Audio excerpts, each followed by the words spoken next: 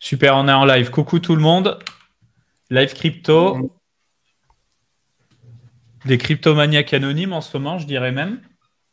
Je rigole. Vous êtes toujours présents hein, sur les lives, euh, dans l'espace commentaire et tout. euh, ça fait plaisir, franchement. On en a bien besoin en ce moment. Mais après, ce qu'il y a d'intéressant, c'est que soit euh, le marché t'a mis dehors, soit tu as envie de te reconcentrer sur des fondamentaux. Alors toi, dans ton cas, c'est ton trading, Léo. Moi, dans mon cas, c'est le fonda. J'ai lu un papier d'ailleurs sur Ethereum qui était intéressant. euh, cet après-midi, on va en parler.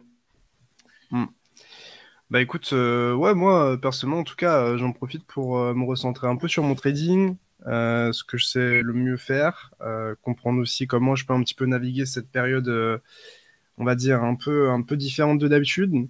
Euh, et, euh, et ouais, essayer de- d'exploiter au mieux cette période-là pour, pour faire un peu d'argent, euh, compenser les, les- évidemment les, la baisse qu'on peut avoir sur ses investissements, etc.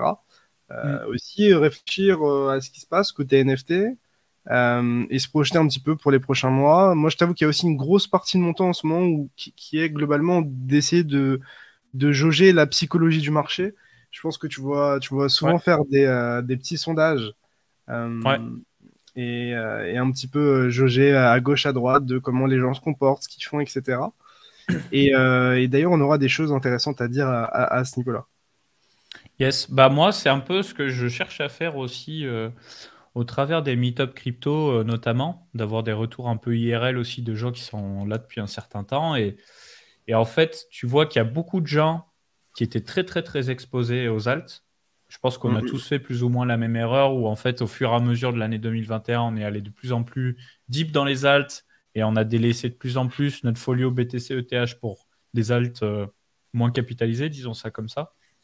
Et donc, en fait, les, et pourtant, euh, c'est pas faute d'avoir répété pendant toute l'année 2021. euh, ouais, les gars, faites gaffe et tout, mais la du gars finit toujours par t'emmener sur un terrain boueux. Et euh, c'est mon cas. Merci beaucoup, Fierce, pour le, pour le sub. Et du coup, il y a eu des grosses pertes. Il y a eu des grosses pertes, surtout des gens qui étaient surexposés à des layer one, par exemple, qui ont des gros fondamentaux. Ça commence. Bah écoute, mon frérot, euh, tu peux short jusqu'à zéro parce que là, je suis parti pour, pour, euh, pour, euh, recharger un peu mes bagues en DCA. Donc, euh, tu peux lancer ton short et perdre de l'argent, mon ref, y a pas de souci. Euh, non, non, je dis ça en vrai, je n'ai aucune idée de si on a le bottom ou pas. Euh, Mhm. Si on va baisser davantage, il y a quand même de bonnes chances que ça, ça continue de baisser. Mais voilà, moi, j'ai pas de conviction très baissière pour l'instant. Juste D'accord. euh, en range et je trade ce que je vois à court terme. Et côté investissement, euh, bah, je DCA et, et- et je recharge régulièrement en fait. Donc, euh, juste d'un point de vue trading, je regarde relativement, enfin, je me fais mes scénarios à moyen long terme, mais je continue à trader globalement sans biais euh, à court terme, des, des petits setups en 15, 20, 30 minutes.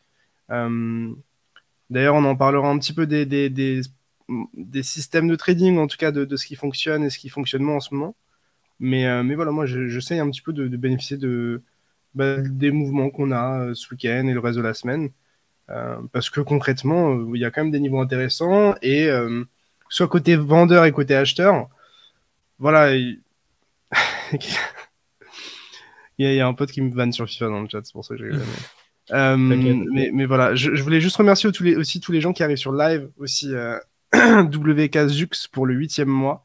Et, euh, et voilà, tous les gens dans le chat. Donc, Way, King Tommy, Taizok, euh, Moal Tartiner 93, Sissi Coucou 64, Prozentil, Keep Crypt, Vato, Yo-Yo, euh, Cyprien Tramoy, euh, Tramois, Kegyu, bref, tout, le monde qui, qui arrive, ça fait plaisir. Et, et voilà. Sincèrement, j'ai hâte qu'on sorte de, de cette période déprimante, mais euh, je sais que euh, c'est ce genre de périodes qui vont être les plus profitables, honnêtement. Donc, euh, Bah, dis, en fait, si tu veux, euh, ça fait mal. Ça fait mal. Ça peut faire toujours plus mal. Faut, faut en être conscient. Ça, c'est c'est vrai.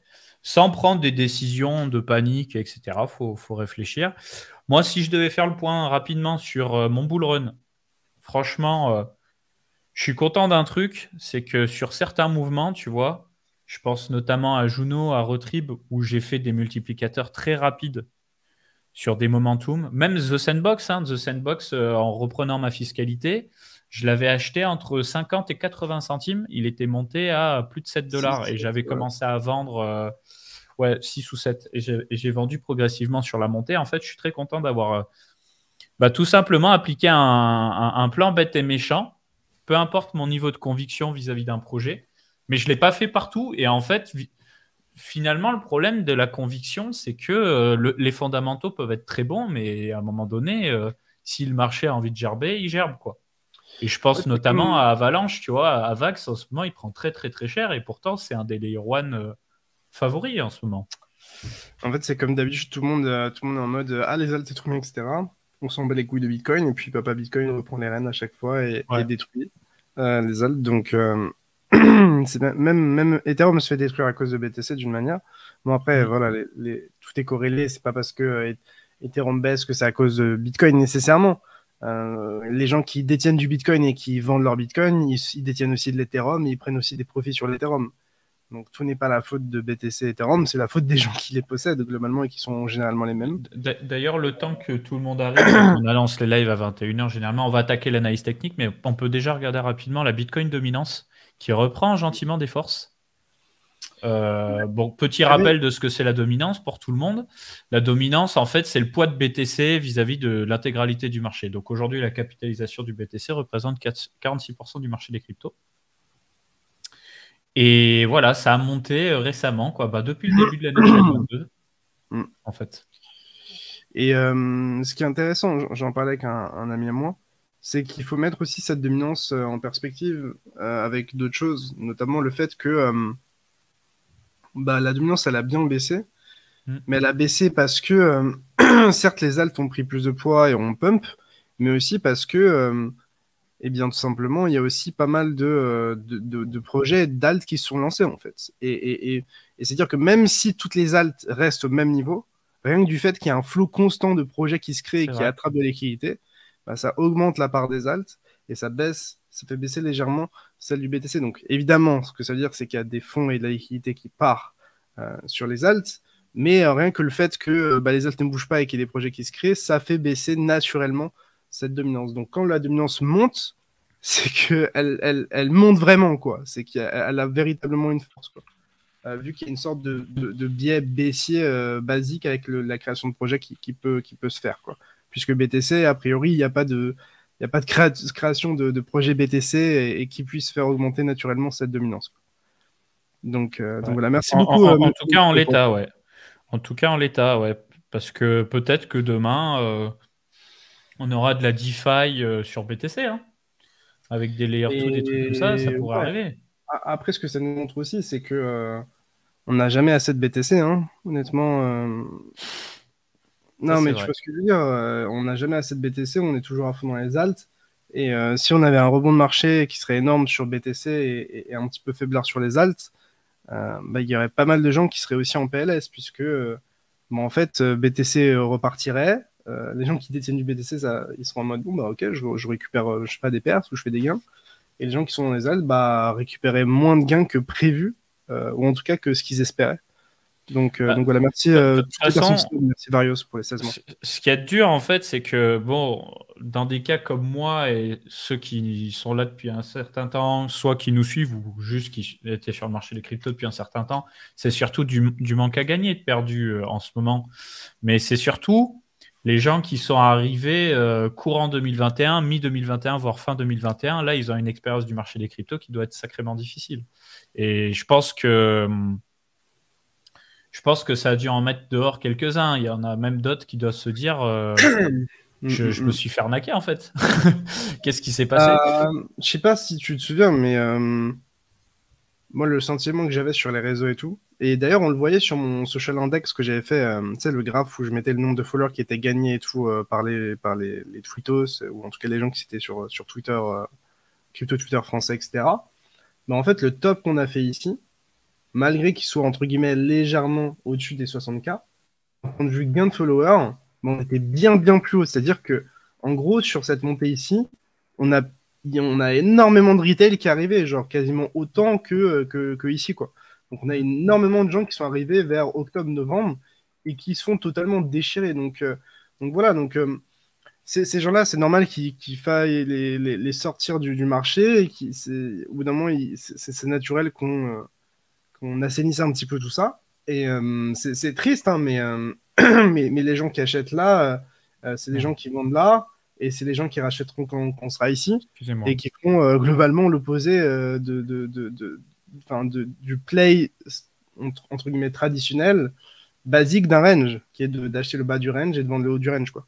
Eux, ils achètent le, haut du range ou une déviation et, et ils, vendent, ils vendent le bas.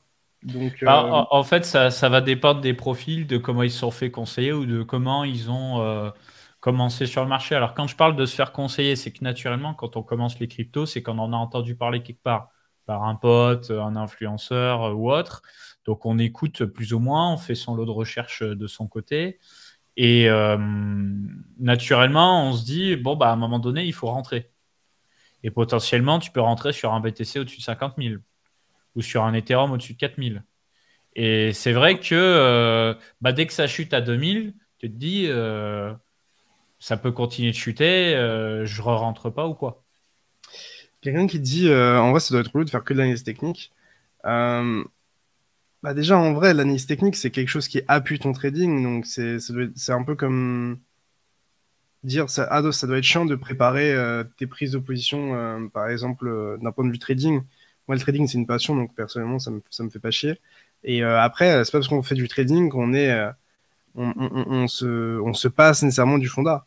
Alors moi, je suis un, globalement un mauvais investisseur à partir des, fondamentaux en général que je vois sur les projets, parce que euh, j'ai sûrement une, un mauvais, mauvaise connaissance globale du marché d'un point de vue fondat, ce qui m'empêche d'avoir une vision non biaisée de si un projet est bon ou pas. Mais, mais, mais voilà, je, pense qu'il est important, de mêler les deux. Euh, et, et, en vrai, de toute façon, le, trading et technique, euh, globalement, euh, on, s'amuse dans tous les cas de figure. Quand il y a un range, on peut jouer le range. Quand c'est volatile, on peut, on peut jouer les, les, phases tendancielles. Donc, donc sincèrement, le, voilà, le marché n'est pas simple à certains moments. Mais le but, c'est avec l'analyse technique, c'est aussi de le rendre plus simple et de pouvoir identifier des opportunités de, d'exploitation de, ce marché, en fait, simplement. Et pour la partie fonda, alors moi, c'est la réflexion que je me fais en ce moment, surtout avec des alts qui ont pris extrêmement cher. On en a parlé déjà avec Léo euh, il, y a, il, y a, 48 heures. Ça, on est sur un marché qui réfléchit beaucoup en termes de cycle, en termes de mode, etc. Et donc, euh, bon, on a eu, pendant ces deux dernières années, on a eu la DeFi dans tous les sens, des forks, de forks, de forks 2, avec euh, des AMM de tous les sens. Ensuite, on a la mode des, euh, on va dire des layer 1, puis des layer 2. Et en fait, en ce moment, ce qui m'intéresse, c'est d'essayer de voir justement quels sont les prochains protocoles qui vont héberger euh, bah, tout le futur, quoi. Le futur de la DeFi, euh, des NFT, des métaverses, etc., etc. Donc, on vous avait présenté Aleph 0, qui je pense est un prétendant intéressant. Je garde un œil aiguisé quand même euh, dans l'écosystème Polkadot, même si en ce moment, Polkadot, je suis totalement conscient que c'est vraiment pas joli, mais euh, ça reste quand même euh, un écosystème, voilà, substrate, où tout est interconnecté, avec la possibilité d'interopérer les smart contracts. Ça va arriver aussi sur Cosmos, mais c'est pas encore le cas. Mais voilà, je m'intéresse à ça. Je rebondis sur le message concernant Ori. Du coup, moi, j'ai accès au, jeu en alpha. je crois que toi aussi, d'ailleurs. Et euh, en gros, on a, on peut, enfin, moi j'ai discuté avec le, le, le, mec qui est derrière Ori, qui a créé Ori, et, toute la team derrière. En gros, j'ai pas le droit de, de streamer le jeu euh, avant 3-4 jours, je crois. Même je peux partager le screen, mais je peux pas streamer. Ils attendaient de, de fixe quelques trucs, mais, euh, mais voilà. Et euh, sincèrement, moi j'ai bien aimé le jeu. Euh, je le trouve bien fait, je trouve que les mécaniques sont sympas. Je pense qu'il va falloir diguer pour bien comprendre les méta, ce qui fonctionne, ce qui fonctionne pas. Et euh, je trouve que pour une alpha, euh, vraiment le jeu est, vraiment sympa. Alors après, moi, je suis pas un, game, euh, un gamer dans, enfin, au fond de moi, entre guillemets, sur ce genre de registre de jeu, donc, donc les styles Dofus, etc., ça n'a jamais été mon méga trip. Mais je reconnais en tout cas que c'est très bien fait et c'est très fluide pour un jeu qui est, rappelons-le, sur navigateur sans téléchargement. c'est assez magnifique, donc je pourrais pas le, le, le streamer ou quoi. Après, euh, c'est à mettre en perspective avec euh, les moyens de spéculer sur le jeu. Autant le jeu est stylé, autant il est libre de fou. Autant spéculativement, ils sont pris une grosse claque. Et euh, une énorme claque même. avec le fait que les gens puissent bah, retirer l'argent qu'ils ont staké. Du coup, ça crée une énorme pression vendeuse en plus de la pression vendeuse qu'il y avait de base. Et, et Ori, moi, j'ai perdu pas mal d'argent dessus pour l'instant. J'ai fait, j'ai fait de l'argent avec les NFT. Voire, je crois, je suis break-even à cause de la baisse de Solana. Oui, il y a la baisse du Solana. donc, euh, donc voilà, je suis break-even globalement à peu près sur mes NFT euh, Ori. Et euh, sur les tokens, je suis en bonne perte. Euh, mais voilà, après, moi, c'est, euh, moi, j'ai peu de play avec des convictions, peu d'investissements où j'ai de la vraie conviction. Et en parler avec la team et, et, et en voyant le niveau de production qui est, et, les choses délivrées, euh, moi, je trouve ça très sympa et, et j'ai confiance dans ce qu'ils vont délivrer. Donc, euh, encore une fois, le fonda est à mettre en perspective avec la spéculation. Il y a des projets qui, ont, qui représentent un très bon produit, un très bon service, un très bon jeu, mais qui trouvent jamais leur public spéculatif et qui euh, ne peuvent jamais. Donc, euh, donc on verra. Hmm. Bah, on pose la question pourquoi revendre les Aurori achetés à 15 dollars? Bah, Déjà, il y a des gens qui l'auraient acheté plus bas, je pense, il me semble. En, en, en gros, les VC, alors, en gros, les VC, ils ont acheté à. Euh, je sais plus si c'était euh, 20 centimes? Je crois qu'ils ont acheté à 20 okay. centimes, mais ils sont okay. loqués. Donc, ils peuvent pas vendre actuellement. D'accord. Et euh, sinon, tout le monde a acheté en moyenne à 15 dollars de mémoire. Ils ont levé 150 millions. Mmh. Donc en gros, euh, globalement, il y a toutes les personnes qui sont avantagées, qui ont potentiellement pu acheter le token, euh, le token à l'avance, ils peuvent pas vraiment, euh, ils peuvent pas vraiment bénéficier de ce multiplicateur et vendre actuellement, de ma compréhension. Ensuite, il y a les bénéficiaires des récompenses de staking qui. En fait, il faut comprendre qu'il y avait deux poules de staking à la base. Il y en avait une où vous pouvez débloquer les jetons à tout moment. Il y en avait une autre où vous étiez bloqué jusqu'à il y a quelques jours avec du coup un rendement bien supérieur, de l'ordre de 50 ou 60% annuel. Mmh, Donc du coup, il y a pas mal de gens qui se sont bloqués là-dedans parce qu'ils croient au projet. Et en fait, bah, tu peux croire au projet quand le prix s'effondre, bah, potentiellement, tu as peut-être envie de sauver les meubles. Et je pense que c'est ce qui se passe. Donc si vous voulez... Je pense pas sauver les meubles, en vérité, c'est plus avoir besoin de liquidité sur d'autres choses, par exemple. Du style, j'ai un long avec de l'effet de levier, je dois trouver tout l'argent qui est dans, à ma disposition pour pas me faire liquider où euh, je pense que je suis un génie et que je vais me refaire. Du coup, je vais, je vais prendre le peu d'argent que j'ai pour le mettre dans mon effet de levier et essayer de refaire mes pertes. Ou euh, j'en ai besoin parce que je vais acheter le dip sur mon NFT, préféré et j'ai zéro argent de dispo. Bref, c'est, c'est, je pense pas que c'est nécessairement une, conviction vendeuse, c'est plus aussi les gens ont besoin de liquidité parfois et euh, ils la trouvent où ils peuvent. Je te laisse reprendre, désolé. Euh, si jamais on vous parle régulièrement d'Aurori, c'est vrai, mais c'est même pas qu'on a quelque chose à vous vendre, hein, c'est que ça fait partie des rares jeux en fait où on est plutôt hype. Et on n'a jamais moi, été payé par Aurori. Euh, si jamais... on, a, on a fait un article sponsor. On a fait un article sponsor. On a fait un article sponsor. Non, non, mais voilà, parce qu'il va dire, mais ils arrivent, voilà, ouais. on n'a pas été payé en perso. Nous, en fait, on a rencontré le créateur. Moi, quand je me suis intéressé à Solana début 2021, bah, ça faisait partie des projets que j'avais en, mire, en fait, hein, tout simplement. Il y en a d'autres que je regarde rapidement, Ember Sword, euh, Illuvium, euh, Big Time qu'il faut que j'appelle, etc. Mais en fait, il n'y en, a pas, en a pas 10 milliards des jeux. Et moi, euh, personnellement, en tant que joueur, forcément, je m'y intéresse.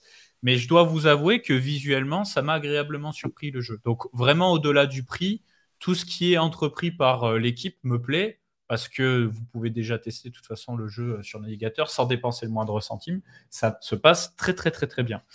Maintenant, bon bah à niveau prix, de toute façon, tous les play to earn sans exception se font péter le fion. Et en plus de ça, Aurori est sur l'écosystème Solana et en ce moment Solana c'est vraiment pas la folie. Et la blockchain elle est tombée en panne plus de sept fois. Là cette semaine, on va en parler. Il y a eu une désynchronisation aussi de l'horloge interne du système parce que. Mais en, en, gros, ça, ça mettre en perspective aussi avec euh, ce que je trouvais intéressant, c'est Samy qui dit ça. C'est-à-dire qu'en gros, tu as des projets qui ont un layer technique. Enfin, en gros, il faut avoir le layer technique et le layer communautaire. Et en gros, euh, Solana ont eu le layer technique. Bon, maintenant, ça tient moins bien que prévu, peut-être. C'est catastrophique. Ouais, c'est catastrophique, voilà. Ouais. Mais le, la partie communautaire, elle est très très bonne parce qu'il y a énormément d'applications qui se créent.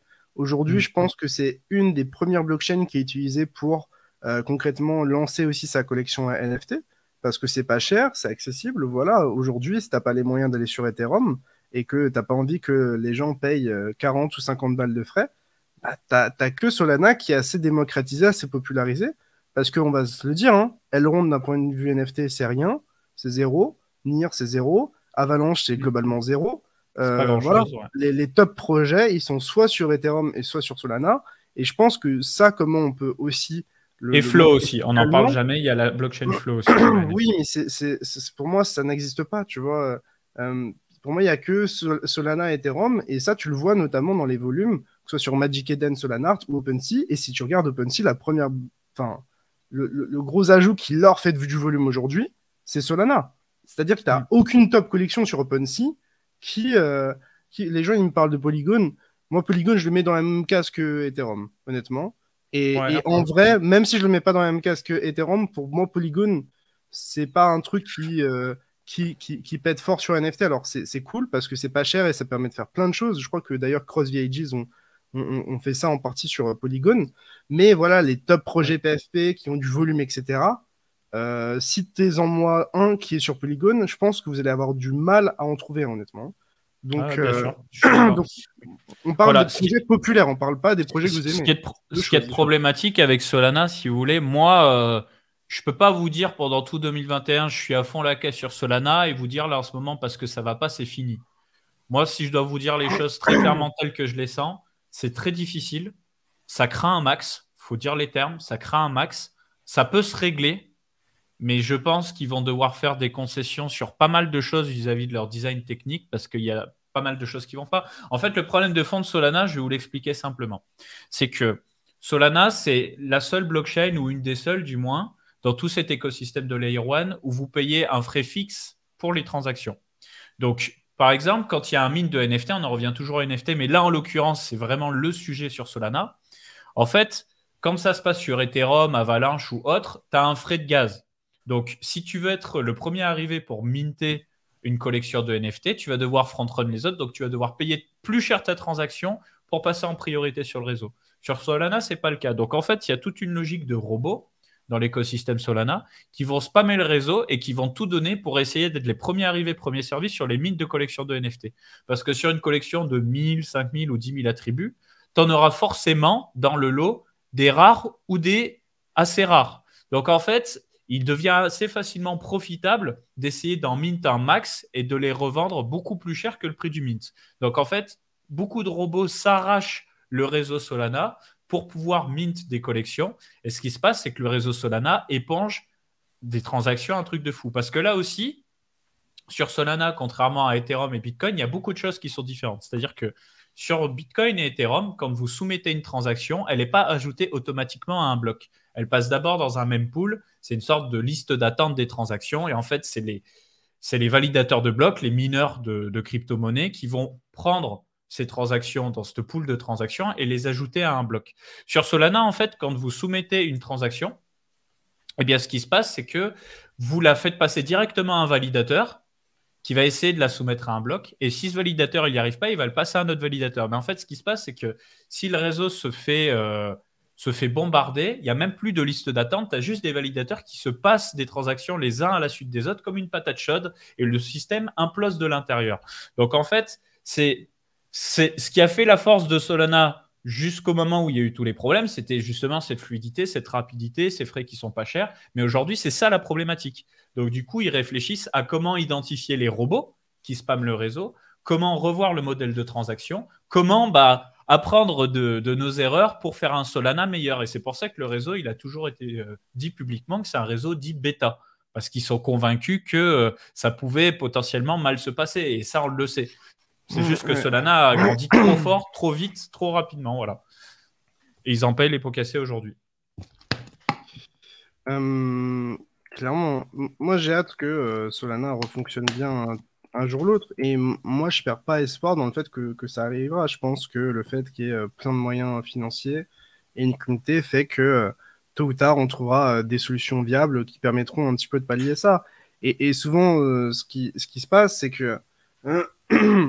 Alors certes, ça va, ça va pas super bien sur Solana, mais je repense à Ethereum. Tu vois, Ethereum, euh, quand on était au plus bas, alors c'était il y a longtemps, hein, mais quand on était au plus bas, autour de 80 dollars euh, ou quoi, plus personne croyait à Ethereum, on voyait que des soucis, on se disait euh, ça va jamais arriver, etc.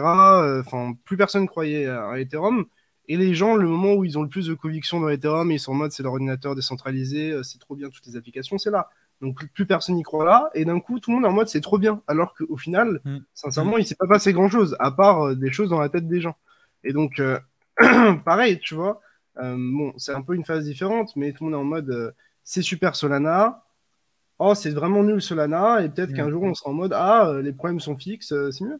C'est ça. Non, mais c'est exactement. Maintenant, voilà, faut juste se dire que se potentiellement, il y a- résoudre, mais- il y a des voilà, si ça se résout et il y a aussi des gens naturellement qui veulent plus en entendre parler avec tout ce qui s'est passé. Et ça, je le comprends euh, totalement. Même moi, je vous le dis sincèrement, euh, toutes ces pannes euh, qui qui sont toutes différentes les unes des autres, ça fait vraiment pitié, hein, franchement. Ouais. Léo a, trop de bacs sur sol, il veut vous convaincre. Euh, en fait, j'essaye un peu de prendre le contre-pied de. Alors, j'ai des bacs sur sol et j'achète du sol, mais euh, au-delà de ça, euh, je pense que c'est important aussi de prendre un peu à contre-pied ce qui se dit, parce qu'aujourd'hui, c'est vraiment hype de cracher sur Solana. Sur Twitter, tout le monde en mode. Solana, ça marche pas, c'est de la merde. Tout le monde nous dit, oh, Avalanche, c'est trop bien. Elrond, vraiment, c'est de la frappe. Euh, mais les gars, genre, personne. Enfin, bon, il y, a des- y a des choses qui se build sur ces blockchains. Mais en vrai, je trouve qu'il y a beaucoup moins de choses qui se build sur ces blockchains que sur Solana. Et, c'est ça qui compte, c'est qu'il y ait des applications et des choses qu'on puisse utiliser en, en tant qu'utilisateur et qui nous apportent de la valeur. Sur Solana, en tout cas, je pense que le plus gros point, c'était les NFT. Avant, c'était la DeFi, maintenant, c'est NFT quand je vous dis que la communauté NFT sur Solana est énorme, c'est énorme. C'est aujourd'hui, on bat les records des collections euh, NFT sur Ethereum. Euh, donc c'est pour vous dire à quel point, à quel point c'est big. Donc euh, c'est pour ça que quand tout le monde crache sur Solana, c'est vrai que ça marche pas bien. Il y a quelqu'un qui dit il n'y connaît rien, c'est pas possible. Je peut-être que j'y connais rien techniquement, mais ce que je te dis, c'est que tout le monde crache dessus, mais qu'aujourd'hui il y a plein de gens qui utilisent Solana. C'est pour ça que je te contredis pas. C'est-à-dire que Léo, il n'a pas dit ce qui se passe sur Elrond et sur Avalanche. C'est d'ailleurs, c'est des logiques qui sont différentes. C'est-à-dire qu'Elrond, ils sont vraiment dans une logique euh, très partenariale, euh, très influenceur avec des push marketing de partout, un sous-jacent technologique qui est ok. hein, franchement, euh, ça fait le café. hein. Bon, tu as, des transactions cross-chart qui sont un peu plus longues. C'est des finalités qui peuvent monter jusqu'à une quarantaine de secondes si tu fais de la transaction cross-shard, mais c'est ok. Du côté d'Avalanche, c'est beaucoup plus performant. Finalité en une seconde. Maintenant, on a les subnets aussi. Alors, les subnets, il faut voir ça, je ne vais pas dire comme des layer 2, mais en gros, c'est des, des écosystèmes à part entière où tu peux héberger euh, un play to earn sur un subnet. Comme ça, tu ne partages pas la bande passante avec les autres sur le réseau. Donc, c'est des logiques qui sont différentes. Et il va se passer des trucs. C'est juste que sur euh, Avalanche, les subnets, ça met du temps. Et sur Elrond, c'est en train de se construire progressivement. Solana, en fait, encore une fois, ils ont épongé beaucoup, beaucoup, beaucoup plus de trafic. Mais ils l'ont voulu. Voilà, ils ont poussé beaucoup plus fort que les autres en termes de marketing, d'événementiel, etc. Et aujourd'hui, bah, ils prennent tout dans la, tout dans la gueule. hein, Moi, j'aimerais juste répondre un petit peu aux, aux commentaires et tout. Euh, Je vois des Léo, tu te trompes, déjà, t'aimes pas la blockchain pour, ne, pour, euh, pour autant aimer, en gros, une blockchain aussi centralisée. En gros, c'est plus ou moins le message que, que je comprends. Euh, moi, d'un point de vue idéologie, déjà, je suis pas la personne la plus euh, en mode la décentralisation, etc. Vous, connaissez, euh, euh, voilà. Mais moi, ce qui, compte pour moi, c'est ce que je peux en faire de la blockchain. Certes, ta blockchain, elle est hyper décentralisée, elle est cool, super, mais déjà, qui l'utilise? Tout le monde s'en branle, en fait. Ce qui compte, c'est d'avoir des blockchains où il y a des choses qui sont bâties dessus, il y a des communautés, et- et voilà. Parce qu'en gros, tu peux avoir le meilleur projet technique, si personne n'utilise, ben, ça n'a aucune valeur. euh, Enfin, ça, ça a de la valeur, mais c'est ça, ça a peu de valeur. Ce qui fait que euh, Bitcoin a de la valeur, c'est qu'effectivement, c'est relativement bien décentralisé, mais c'est surtout qu'il y a beaucoup de gens qui l'utilisent. Et ce qui fait encore plus de valeur côté Ethereum, c'est le fait que bah, tout le monde utilise Ethereum et que c'est la base. Et donc, c'est- là où je veux dire que bah, moi, je suis pas euh, la personne la plus, comment dire, la, la plus euh, knowledgeable sur, euh, sur la partie technique des blockchains, mais moi, je regarde euh, concrètement ce qui est utilisé et ce qui, moi, me touche en, en- en tant que personne qui s'intéresse aux crypto. Moi, si tu es, si t'es une blockchain et que tu n'apparais pas dans mon feed Twitter ou qu'il n'y a personne qui, qui, qui, qui parle de, de, de ta blockchain, euh, globalement, tu n'existes pas. Et, et c'est Mm. pas, euh, c'est pas négatif. C'est juste que bah, tant qu'on touche pas euh, beaucoup de gens, bah, en général, euh, c'est qu'on n'a pas beaucoup de build dessus ou que c'est pas. euh, Enfin, voilà, moi, je, en- cette approche-là, elle, elle fait en sorte que tu sois en général un, un peu plus late que des gens comme Samy, qui sont très bien renseignés, etc. Mais moi, je, moi, je suis, quand je touche à une blockchain, je l'utilise réellement.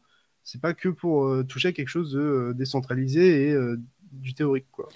Moi, sur la partie idéologique, pour compléter, faut bien comprendre qu'à l'exception de Bitcoin et Ethereum, la vraie décentralisation chez les autres Layer One, elle existe quasiment pas.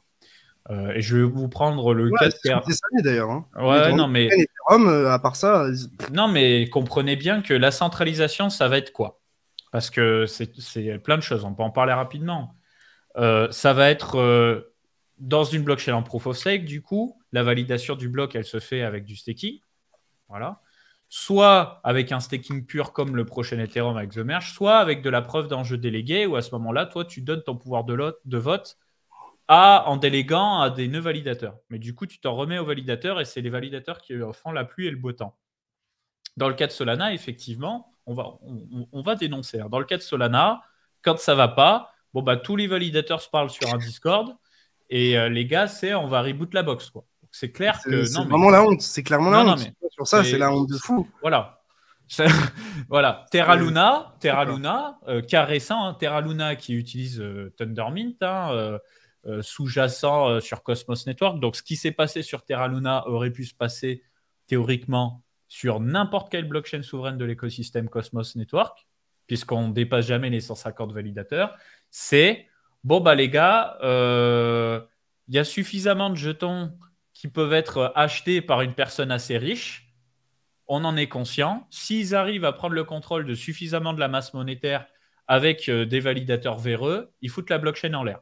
Donc, du coup, qu'est-ce qui s'est passé sur Terra Luna? Bon, bah, les gars, euh, vu qu'on a imprimé plein, plein, plein, plein de Luna pour essayer de faire repeg l'UST, le Luna, il a perdu de la valeur. Bah, si quelqu'un, il arrive sur un exchange, il balance quelques centaines de millions, il récupère euh, un maximum de masse monétaire et puis potentiellement, il peut corrompre la blockchain. Donc, c'est vrai que ce qui s'est passé avec Luna, c'était carrément chaud.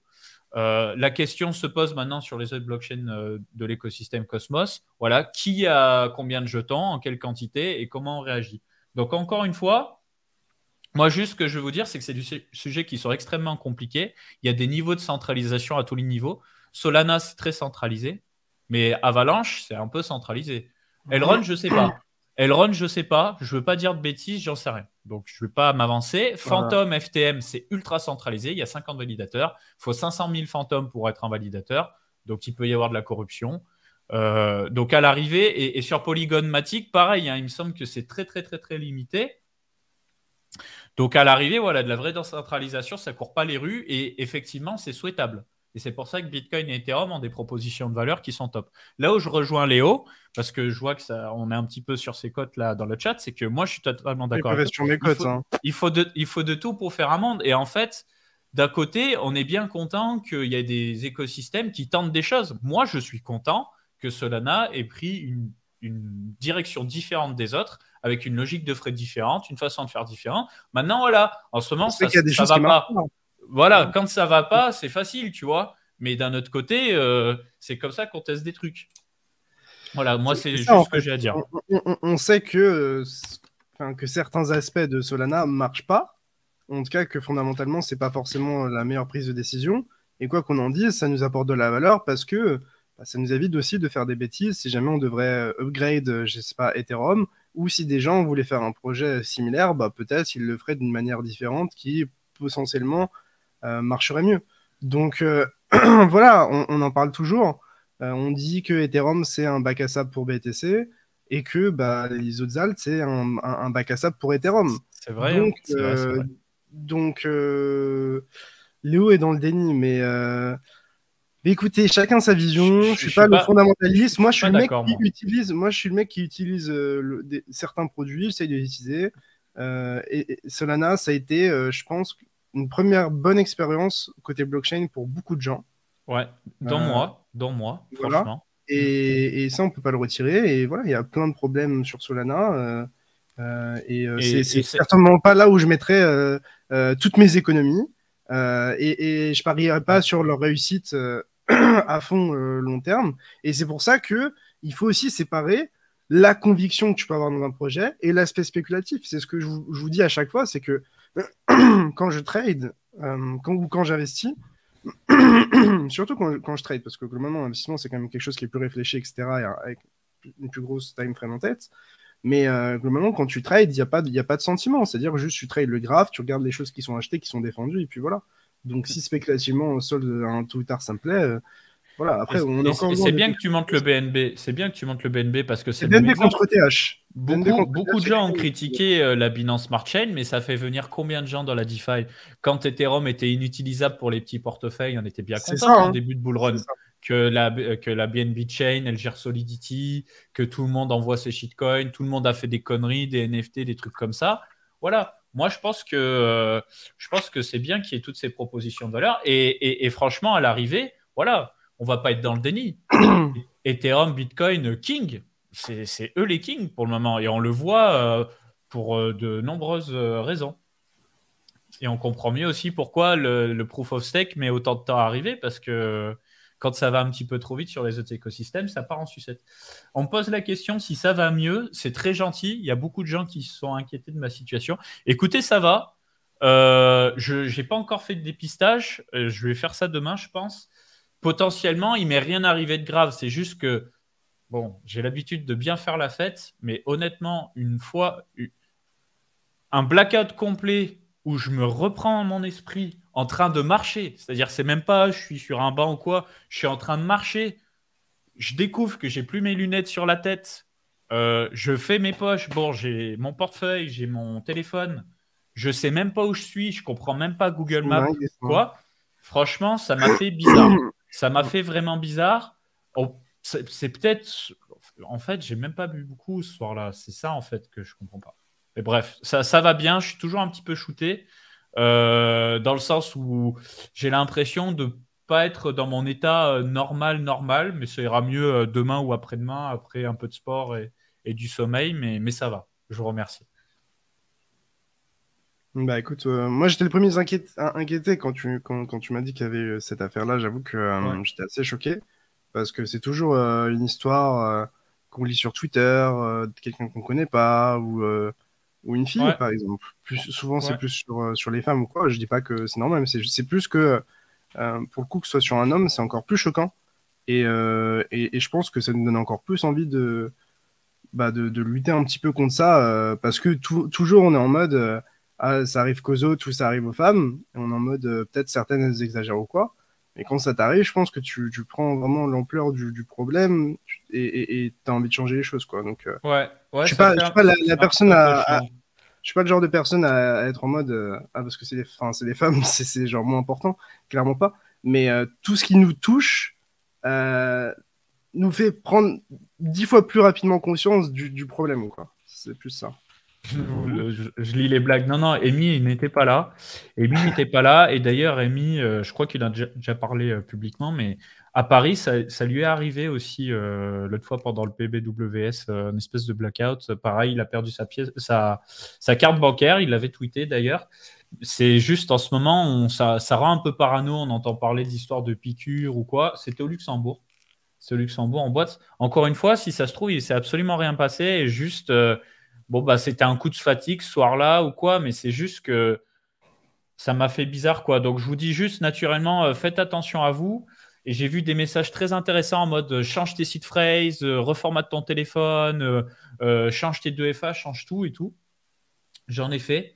Mais c'est vrai que tu te dis, putain, une attaque programmée en mode on sait que quelqu'un est dans la crypto, on sait qu'il va faire tel type d'événement ça casse les couilles, ça casse les couilles. Et c'est ce que me disait euh, Asher. Asher, lui, me disait euh, quelqu'un qui a plus de 5000 balles sur les marchés, pour moi, qui n'a pas de multisig, c'est un, un fou.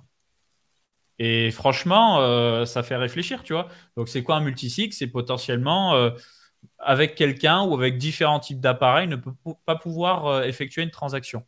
Après, ça dépend du type de multisig. Lui, il m'a dit que ces, histoires de multisig, ça lui coûtait très très cher en, frais de gaz Ethereum, mais au moins il était tranquille de chez tranquille. Quoi. il a eu raison de le faire, vu que c'est un on va dire que c'est une des personnes les plus connues en, francophonie en crypto. C'est un bon move de le faire. Donc voilà, c'était la petite parenthèse. Faites attention à vous. Euh, pour vivre heureux, il faut vivre caché visiblement et euh, on n'est jamais à l'abri de rien. Ouais. Euh, merci du coup euh, Arcade euh, SB pour le, pour, pour le sub, merci beaucoup. Et si jamais t'es chaud, on peut, on peut commencer l'analyse technique. C'est parti. C'est parti, analyse technique. du coup, comme d'habitude, je vais partir un petit peu des, des, plus grosses time frames, des plus grosses unités de temps pour derrière redescendre sur, sur les plus petites. Comme ça, ça commence vraiment avec un contexte qui est global pour derrière finir évidemment sur un contexte qui est un peu plus court terme. Évidemment, le contexte global, les grosses unités de temps, impactent largement les petites unités de temps, mais les petites unités de temps n'impactent pas les, les, plus grosses, quoi. Euh, en, tout, cas, très peu. Donc, en tout cas, le, le, but, c'est de prendre l'entonnoir des plus grosses unités de temps aux plus petites. Euh, du coup, euh, pour reprendre un peu ce graphique-là, je ne sais pas si on voit bien sur mon écran, mais en ce moment, je suis en train de, je suis en train de changer un petit peu. Enfin, je suis pas en train de changer mon, mon style trading, je suis en train de l'adapter aux conditions de marché, en train de tester de nouvelles choses. je pense qu'une approche importante et intéressante, c'est vraiment de, bah, de concrètement regarder où sont les liquidités, où est-ce que le marché a un intérêt à pousser pour piéger ou en tout cas pour, euh, pour sortir des gens de position, que ce soit avec du levier ou, euh, ou euh, peut-être avec des positions spot un peu plus à court terme, et de l'intégrer dans mon trading. C'est-à-dire que apparemment il y a full bruit dans mon, dans mon micro. Bah, c'est quand, quand tu parles, ça, ça fait un micro sifflement. Moi, ça me gêne pas. C'est mieux là? C'est mieux? Ouais, c'est bon. Voilà, c'est bon, c'est réglé. Pas de souci. Et euh, du coup, voilà. Du coup, maintenant, ce que je fais, c'est que euh, vraiment, dans ma prise de position, j'intègre le fait, je le faisais déjà euh, sur, certains, enfin, sur certains setups, mais j'intègre véritablement le, fait que des stops soient cassés. En gros, un stop, c'est quoi? Un stop, c'est un endroit où, bah, si on y va, globalement, on, déclenche la fermeture ou l'ouverture potentiellement d'une position. Globalement, c'est si on va à un prix, alors je fais ça. Donc la plupart des gens l'utilisent surtout pour clôturer des positions. Et globalement, ce qui est intéressant avec euh, bah, justement euh, ces stops-là, c'est que euh, bah, les gens ont tendance à positionner les stops sur des creux ou des sommets qui ont jamais, jamais, été revisités par le passé. C'est-à-dire que, par exemple, typiquement, ce sommet-là, depuis le 16 mai, on n'est jamais allé au-dessus. Donc ça en fait un sommet où potentiellement des gens ont placé leur stop parce qu'ils se disent, j'en sais rien, si on passe au-dessus de ce niveau-là, donc ça invalide mon scénario. Par contre, par exemple, personne ne va mettre son stop ici parce que ce sommet ici a été revisité par la suite et l'endroit où potentiellement les gens ont, mis leur stop, il est ici puisque bah, les gens qui avaient mis leur stop ici sont fait euh, globalement euh, chasser. Donc globalement, on cherche à identifier des endroits où euh, les gens peuvent positionner leur stop et globalement, c'est des sommets ou des creux qu'on n'a jamais revisités par rapport à, maintenant. euh, et donc, globalement, pour reprendre un petit peu le contexte global, le marché, il oscille entre les 60 000 et les 30 000 dollars. Sur BTC, on est sur ce niveau des 30 000 dollars. Comme vous le voyez ici, c'était une zone qui servait de support. Ici, à nouveau. Ici, on a été chassé justement sous ces stops ici. Donc, toutes les personnes qui avaient pu placer leur stop euh, sous ces, creux ici qu'on n'avait jamais revisité puisqu'on n'avait jamais été en dessous de ces prix-là pendant très longtemps, euh, bah, justement, ils ont été chassés. Donc, tous les gens qui disaient, par exemple, j'achète ici et si jamais on va en dessous, bah, je sors, bah, globalement, globalement, ils sont fait sortir. Et donc, pourquoi euh, moi, ce qui m'intéresse, c'est de, chasser ces stops et attendre que des stops soient faits euh, chasser, c'est que bah, y a beaucoup de liquidités et souvent le marché aime partir dans le sens inverse lorsqu'on a été chercher ces stops, puisque en fait le marché il bouge de zone de liquidité en zone de liquidité pour exécuter le plus, le plus de volume et euh, rendre le marché le plus efficient possible pour que tous les ordres d'achat et les ordres de vente soient comblés. Donc voilà. Et donc voilà, donc on est entre les 60 000 et les 30 000 dollars. On est euh, globalement sur ce support des 30 000 dollars. Et euh, suite à la cassure du range qu'on avait entre les 45 000 et les 37 000 dollars, on est passé d'une phase tendancielle à une phase de range à une nouvelle phase tendancielle. Donc maintenant la question c'est est-ce que eh bien on est parti pour range un bon moment euh, j'en sais rien, de cette manière-là et repartir dans une phase de consolidation? Globalement, c'est ce qu'on voit, mais c'est une phase de consolidation qui est un peu plus à court terme. Ou est-ce qu'on va poursuivre le mouvement euh, tendanciel, donc poursuivre cette baisse, euh, ou peut-être reverse dans l'autre sens? Globalement, on ne sait pas trop ce qui se passe. Donc moi, ce que je peux voir d'un point de vue un petit peu extérieur, c'est quoi? C'est qu'on a été chercher pas mal de stops, on a été sur les 61 à 70% de retracement de toute la hausse, donc c'est une zone que les euh, investisseurs aiment bien défendre. Euh, on se situe sur le niveau de prix de production du Bitcoin environ, c'est cette bande-là. Donc on commence à avoir pas mal de points intéressants.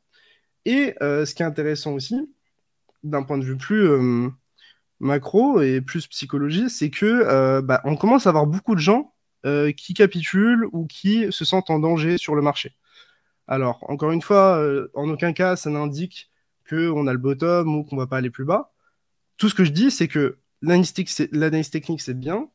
l'analyse, par exemple, des liquidités et, et par exemple, de, des effets, enfin, des, des, des, produits dérivés, c'est intéressant mais la psychologie qu'on peut voir sur Twitter, c'est aussi intéressant. Moi, de mon côté, tu vas me dire capette. Je vois des gens qui shortent un petit peu à la dernière minute en mode je vais me refaire. Je vois des gens qui me disent euh, moi, euh, moi, Bitcoin, je vais l'acheter en dessous de 20 000 dollars. Il y a des gens qui me disent euh, moi, les ALS, je pense que ça va aller zéro, je vends tout.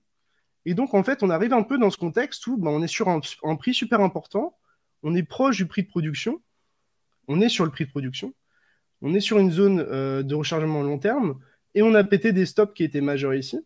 Et donc maintenant, on a une consolidation. En aucun cas, j'ai un énorme signe de force qui me dit, bah écoute, euh, on a un gros intérêt.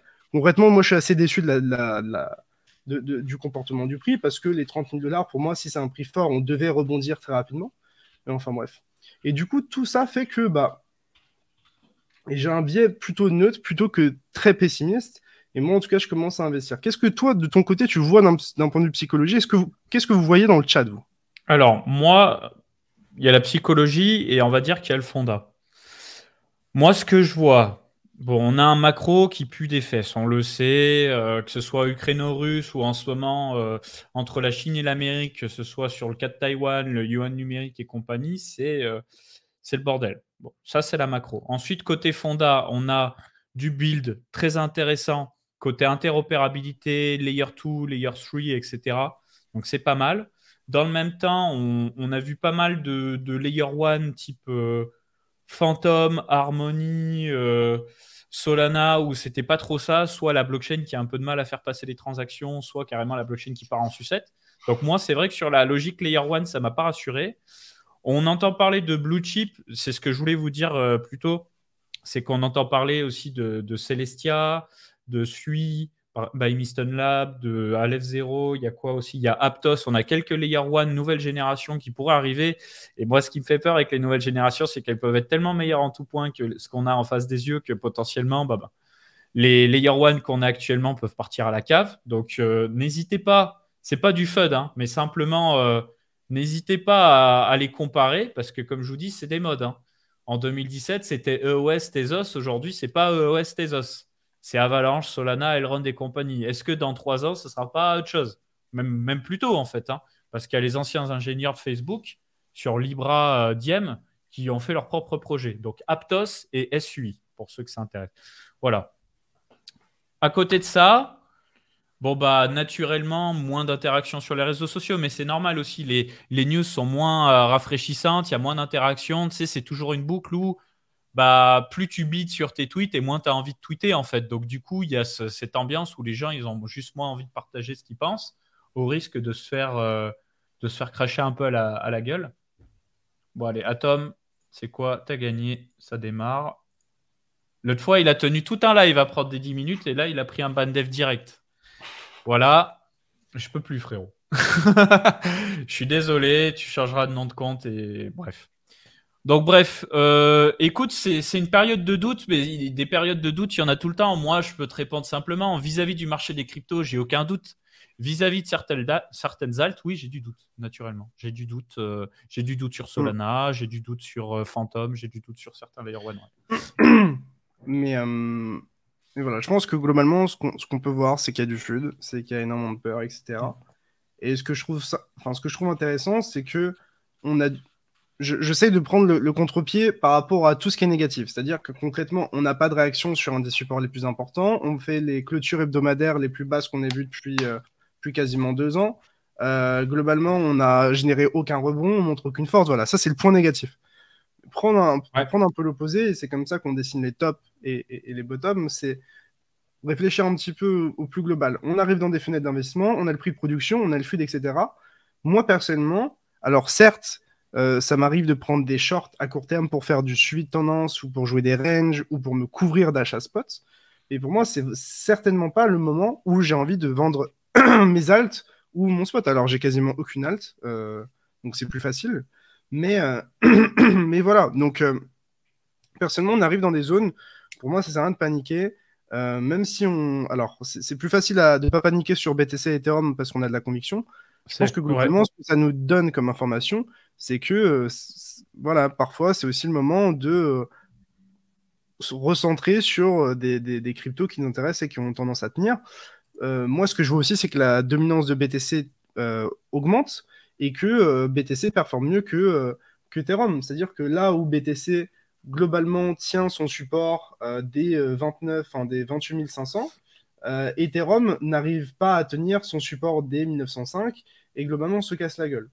Donc, donc voilà. Donc moi, beaucoup de FUD, Twitter très déprimé, beaucoup de gens qui ont fait des pertes, beaucoup de gens qui visent plus bas. Et moi, alors, je... c'est très compliqué de, de timer un bottom ou de dire maintenant c'est le bottom.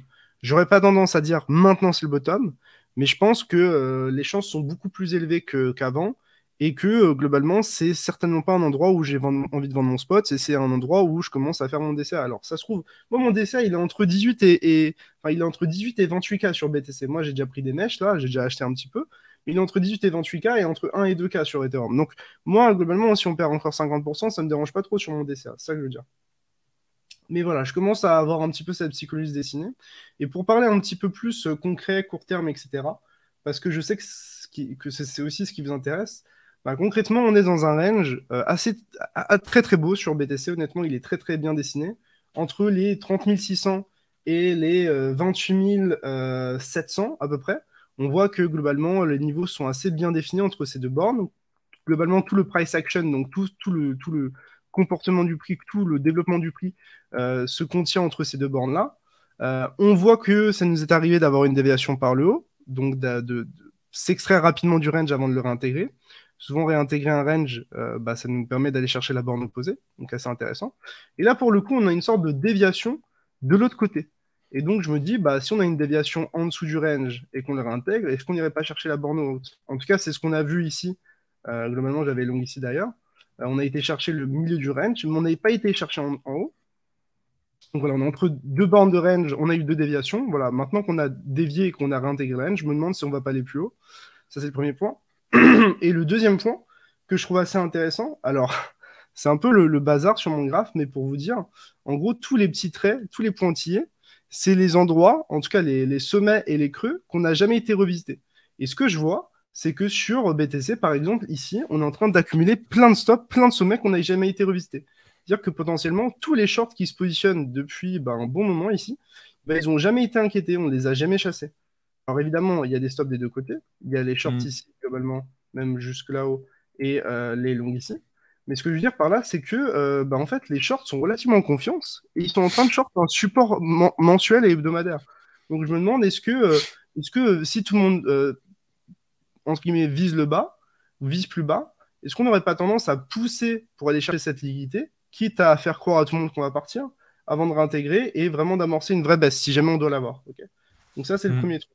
Et euh, si je devais un petit peu mettre en avant les zones de liquidité, eh bien, si jamais on a un retracement vers le nord, les zones de liquidité, pour moi, sont orange.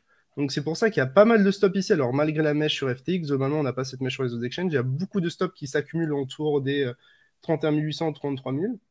Donc attention, si jamais on part au nord pour chercher tous les stops, qu'on n'ait pas de, euh, de piège ici pour derrière euh, consolider davantage. Euh, et derrière, si on, a véritablement des clôtures, ou en tout cas une belle structure, et qu'on se maintient, donc genre typiquement on maintient ces clôtures ici, et on arrive à clôturer en daily au-dessus des, des 30 000, 600, bah là je pense qu'on peut imaginer aller plus haut.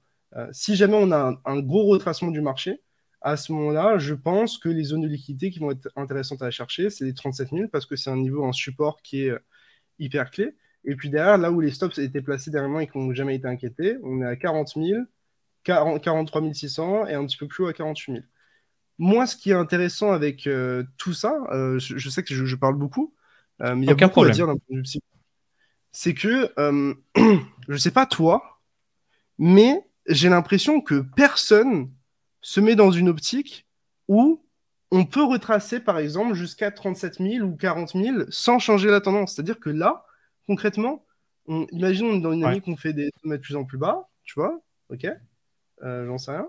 ok Et bah, en fait, on pourrait très bien retourner ici, piéger du monde, avant de vraiment enfoncer, par exemple. Et ici, on mm. changerait pour autant pas la tendance. Donc, ce que je veux dire, mm. c'est que là, vraiment, j'ai l'impression que tout le monde est au fond du trou et que personne n'imagine qu'on peut avoir un rebond. Donc là, on n'a aucune preuve qu'on peut avoir un rebond, on n'a aucun signe de force, on est dans un range globalement, il se, se passe rien. Mais voilà, j'aimerais euh, que les gens y réfléchissent un petit peu à ça. Donc voilà pour BTC, je pense que vous l'avez vu. le, gars que j'ai ban, il a vraiment recréé le compte. Hein. Et tu vois là où Twitch est très fort, c'est que Twitch a déjà détecté que c'est le gars que j'ai ban juste avant.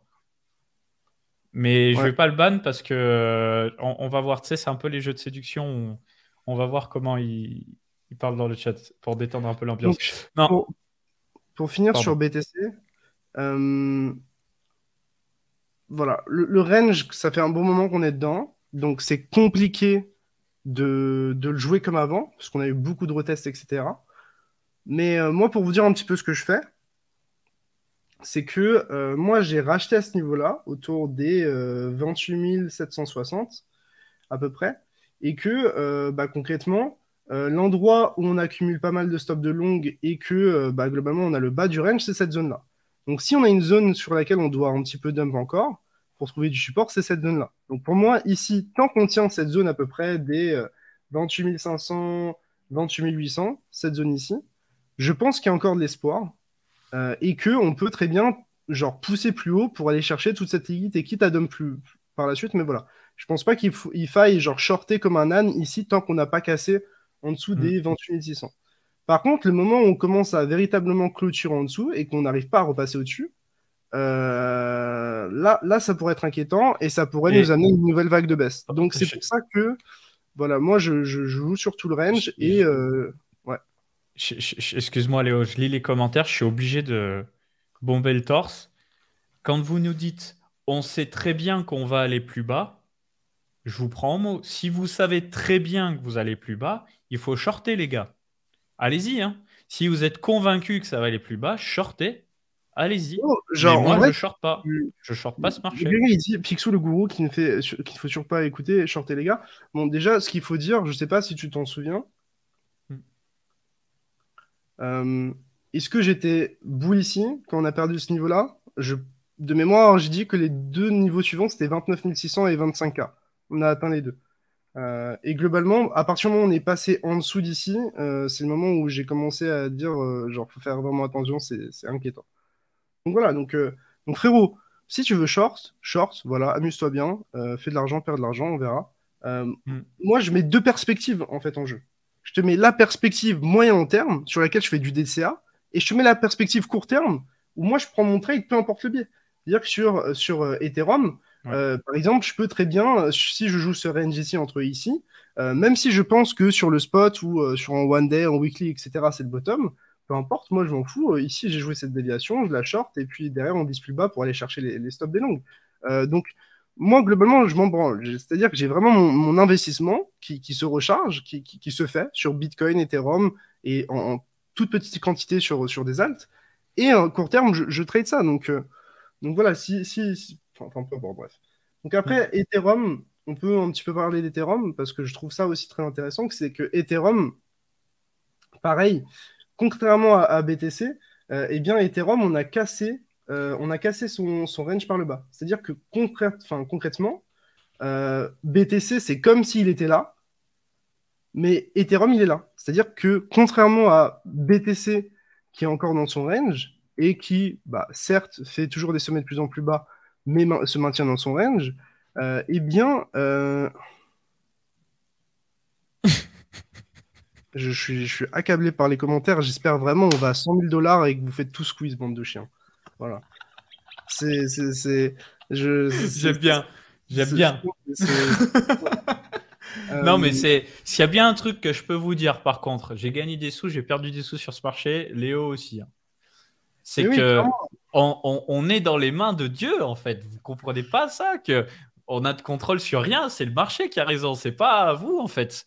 Vous avez des biais, vous prenez des paris, des risques, euh, bénéfices, pertes. Mais vous êtes dans les mains de Dieu, les gars. Faut comprendre ça. en fait, ça me fait péter un cap parce que tu as une approche nuancée en mode le trading, c'est si on fait ça, alors j'ai ce plan. Si on fait ça, alors j'ai ce plan. Et lui, en mode Léo, tu n'as Picsou, tu n'as qu'un plan euh, et ton plan c'est long et genre on va dump et tu vas avoir tort, gros. Genre dans tous les cas, genre je, enfin, eh, vraiment, toutes les personnes qui, qui disent ça, c'est des personnes qui ne comprennent rien au trading et qui vont perdre tout leur argent. J'espère qu'ils perdent tout leur argent. Perdez tout, tout, tout, tout, tout. Pareil contre moi, fais tout ce que tu veux, gros, voilà. Mais, euh, mais c'est légendaire en fait. C'est légendaire. Ça me le mec, le mec, non mais je te jure, en fait, le mec, il commence à être baissier, genre ici, ok? Donc, genre, en gros, on a fait tout ça. Le moment où il commence à être baissier, c'est ici, genre. C'est, il est en mode Léo, genre vraiment. genre, vraiment, genre. Euh, gros, genre. Avec la voix de la crime. Oh bah oui. oh bah oui. Donc, euh, donc, donc, donc voilà. Mais on rigole, hein, les gars, hein, si jamais on, on, on, sait, ça fait partie du jeu, ça troll et tout. Simplement, encore une fois, pour ceux qui nous écoutent sérieusement, on est dans les mains de Dieu et on ne sait pas du tout ce qui va se passer, quoi. Euh, c'est comme. Euh, c'est ce, qui, ce, que, enfin, ce que je sais, c'est ce que je fais s'il se passe ça, s'il si, si se passe A ou s'il se passe B. Mais entre les deux, j'ai aucune conviction parce que si mm. je prends une décision entre les deux, globalement, c'est du, du gambling, c'est de la roulette. Le but, c'est d'encadrer son risque et de mettre toutes les probabilités, toutes les chances de son côté. Donc, mm. euh, en aucun cas, je sais où le prix va aller. Tout ce que je sais, c'est que je vais avoir une conviction plus ou moins forte euh, de la direction en fonction de ce que le prix va faire par rapport à certains niveaux. Voilà, c'est tout. Donc, euh, il y a quelqu'un qui me dit ah, Capet sans nous ce dab. Voilà, je sais jamais. Je... Ah, ils le veulent ce dab. Hein. Non, il n'y aura pas de dab aujourd'hui, mais peut-être un jour si vous êtes sage. Donc, à, 10 subs, ça dab. Obligation d'achat. Euh, qu'est-ce que je veux dire? Mais souvenez-vous de l'été de l'année dernière. Hein. Franchement, euh, quand on a fait la chute du mois de mai qui nous a vraiment caillassé, pendant tout l'été, c'était Déprimeland. Euh, les gars, ça annonçait BTC à 13K et tout. Mais même là, même là, tu vois, je sais pas mais oui, mais je parle de là. Même, mais... même moi ici, je visais plus bas, hein, honnêtement. Et, et, le moment où j'ai changé, j'ai tourné, tourné, j'ai retourné ma veste, c'est euh, ici et ici. Je me souviens. Ouais, quand, ça, quand on Et je sais pas si je me souviens. Genre vraiment, il y a, y a des vidéos et tout. C'est pour moi en fait, c'est pour ça aussi que l'important c'est pas d'acheter genre le, le, le pico bottom. L'intérêt c'est de savoir quand on a tort et de changer de biais quand c'est nécessaire en fait. ok hmm. Et donc d'acheter de, de, quand on a des preuves et des convictions qu'on va aller plus haut, ou de vendre quand on, va aller plus, quand on a plus de convictions que ça va aller plus bas. Donc c'est ça en fait. Donc c'est pour ça que en général on attend des structures, des crosses de MA, euh, le fait de casser des résistances ou de casser des supports, etc. Enfin bref, je voulais reprendre sur cette partie-là. Euh, ouais, bah de toute façon c'est simple, hein. les gens étaient au fond. Moi j'étais en mode, euh, mais, mais moi c'est ce qui m'a fait pour vous parler un peu fric, en gros, j'étais vraiment à mon prime en mai. C'est comme, c'est pour ça que je commençais à faire mes tweets où je disais ouais les gars, je disais ouais les gars les altes c'est un truc de fou. Euh, on a déjà bien croqué mais je suis full confiant sur les altes et tout. Ensuite on s'est fait déchirer. On, en, se moquait de moi, on disait il a vendu le bottom, machin, truc bidule. Et moi je disais je reste dedans, je reste dedans, c'est super cycle, ça va péter, ça va péter. Et il s'est trouvé que j'ai eu raison et que j'ai fait des ATH folio alors que je m'étais fait détruire en mai. ATH Folio après en, août, septembre, octobre, novembre, full ATH Folio. Et après, fin 2022, toujours, euh, fin 2021, j'étais sur Per Cycle, je veux mon Ether à 10 000 balles, je veux mon BTC à 100 000 balles. Et là, je me suis trompé. Et là, je me suis trompé. Et aujourd'hui, vu qu'on a attaqué une nouvelle année depuis un certain nombre de mois et que euh, bon, bah, on se prend une deuxième baisse agressive, on va dire, sur ce run. Là, mon biais, il est un petit peu plus en retrait. Il est resté très, très, très neutre très longtemps. Et depuis là qu'on est dans ce range dégueulasse entre 28 et 31, effectivement, psychologiquement, c'est dur. Surtout avec ce qui s'est passé une seconde fois sur les altes. Plus toutes les pannes, plus la macro dégueulasse avec la situation de guerre, etc. L'accumulation de tout ça fait que effectivement, on n'est plus comme à l'époque, en mode, vas-y, la Fed et la Banque Centrale Européenne, ils impriment de la monnaie, c'est fou l'inflation, ça se retrouver sur les marchés, super cycle. Non. Là, mon, biais, il est un peu différent. Donc, moi, je peux comprendre qu'il y a des gens qui sont baissiers. Maintenant, euh, je reste toujours très, très, très exposé, mais ça ne m'empêche pas de réfléchir. et de me dire où est-ce que je me sentirais un peu plus en sécurité. Au-delà de BTC et Ethereum, hein, bien entendu. Et j'y réfléchis tous les jours, honnêtement. Euh, Atom, faut pas le ban ce chien là Atom? Ouais, je le ban, il recréera un, autre compte et puis voilà. je suis désolé d'être vulgaire, mais au bout d'un moment. il n'y a pas de souci. Ouais, il est un, peu toxique, un peu toxique. Pour ceux qui écoutent la rediff YouTube, laissez un petit like, ça fait plaisir d'ailleurs. Euh, ouais, un peu de toxicité. D'ailleurs, on est, on est presque 1000 hein, en cumulé sur le live. Vous êtes toujours présents, on, le dit régulièrement, mais franchement, ça fait plaisir. On, rigole, on, dit des conneries, mais, mm, mm. mais on, kiffe. Donc, je fais, je fais peut-être un bilan euh, de moi ce que je fais. ok mm. Comme ça, on fait un récap euh, de ma conviction et de ce que je fais. ok mm. Simple. Reload zone ici, donc tout ce qui est entre les traits bleus ici, donc tout ici, globalement, entre 17, euh, 18 et 28, je fais mon DCA Bitcoin. Ça, ça bouge pas. Ok, ça c'est sur Bitcoin. Sur Ethereum, pareil, entre ces deux zones-là, donc à peu près entre 1000 et 1900 dollars, je fais mon DCA. Donc, c'est-à-dire que moi, concrètement, sur Ethereum, j'achète pas euh, par euh, euh, intervalle de temps. Donc, par exemple, j'achète pas toutes les semaines. moi, j'achète tous les 50 dollars. Hmm. pareil sur BTC. Ok. Donc, ça, c'est ma phase d'investissement. Ma phase de trading. Qu'est-ce que je fais d'un point de vue trading sur BTC sur BTC, je ne cherche pas de short tant qu'on est au-dessus de cette borne ici verte. Si je dois jouer quelque chose, c'est potentiellement des achats près de cette zone verte et euh, justement euh, de couper ma position, de l'invalider. Euh, dans le cas où on fait des clôtures ou en tout cas on construit trop longuement en, dessous de cette zone-là.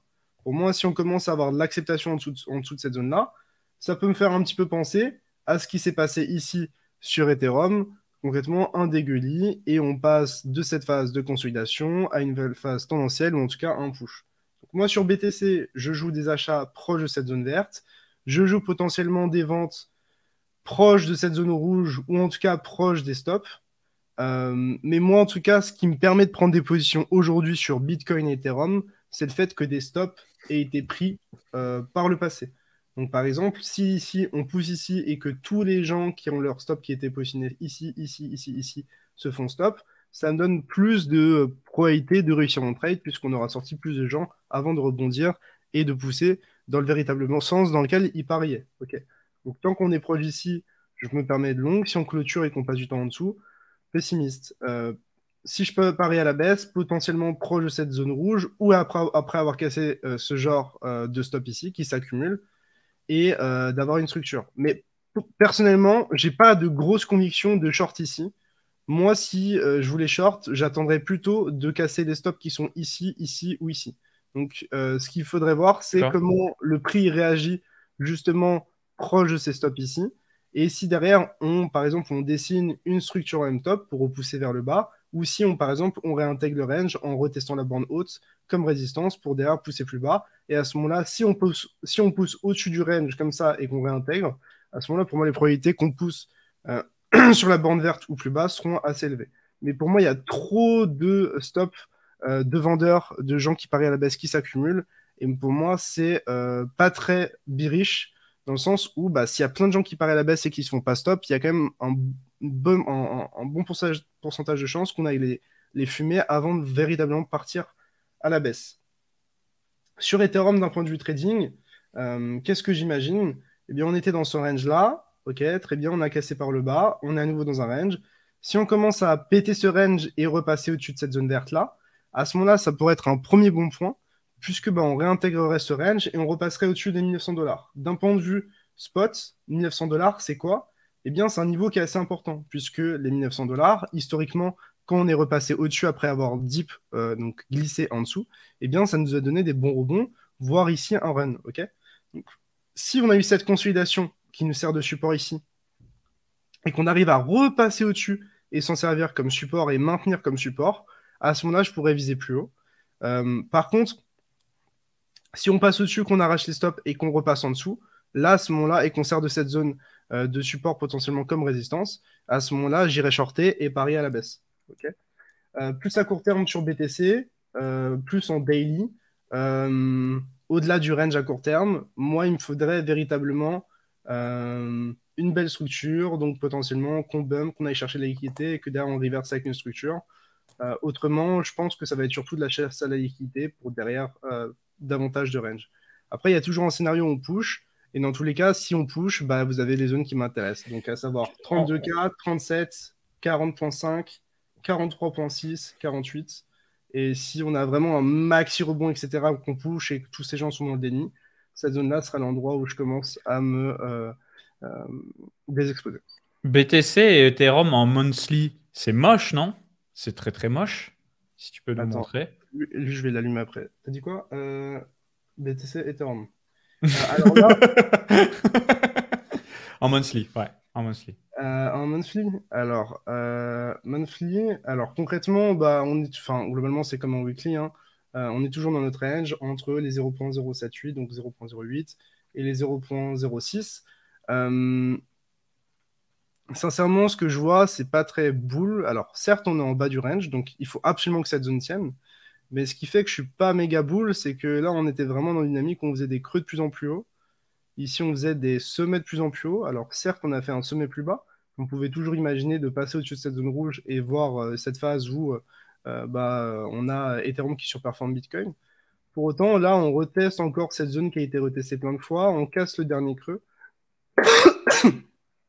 Donc, euh, c'est pas ouf. Donc, euh, personnellement, les scénarios où je suis baissier sur Ethereum contre Bitcoin, c'est euh, si on reteste cette zone ici comme résistance et qu'on n'arrive pas à la tenir et qu'on casse, là c'est vraiment dégueulasse. Donc je pourrais potentiellement rentrer ici en short, mais c'est assez agressif de rentrer au milieu d'un range. Moi, ce que je préférais, c'est vraiment qu'on glisse et qu'on serve de cette zone ici comme résistance pour derrière pousser plus bas.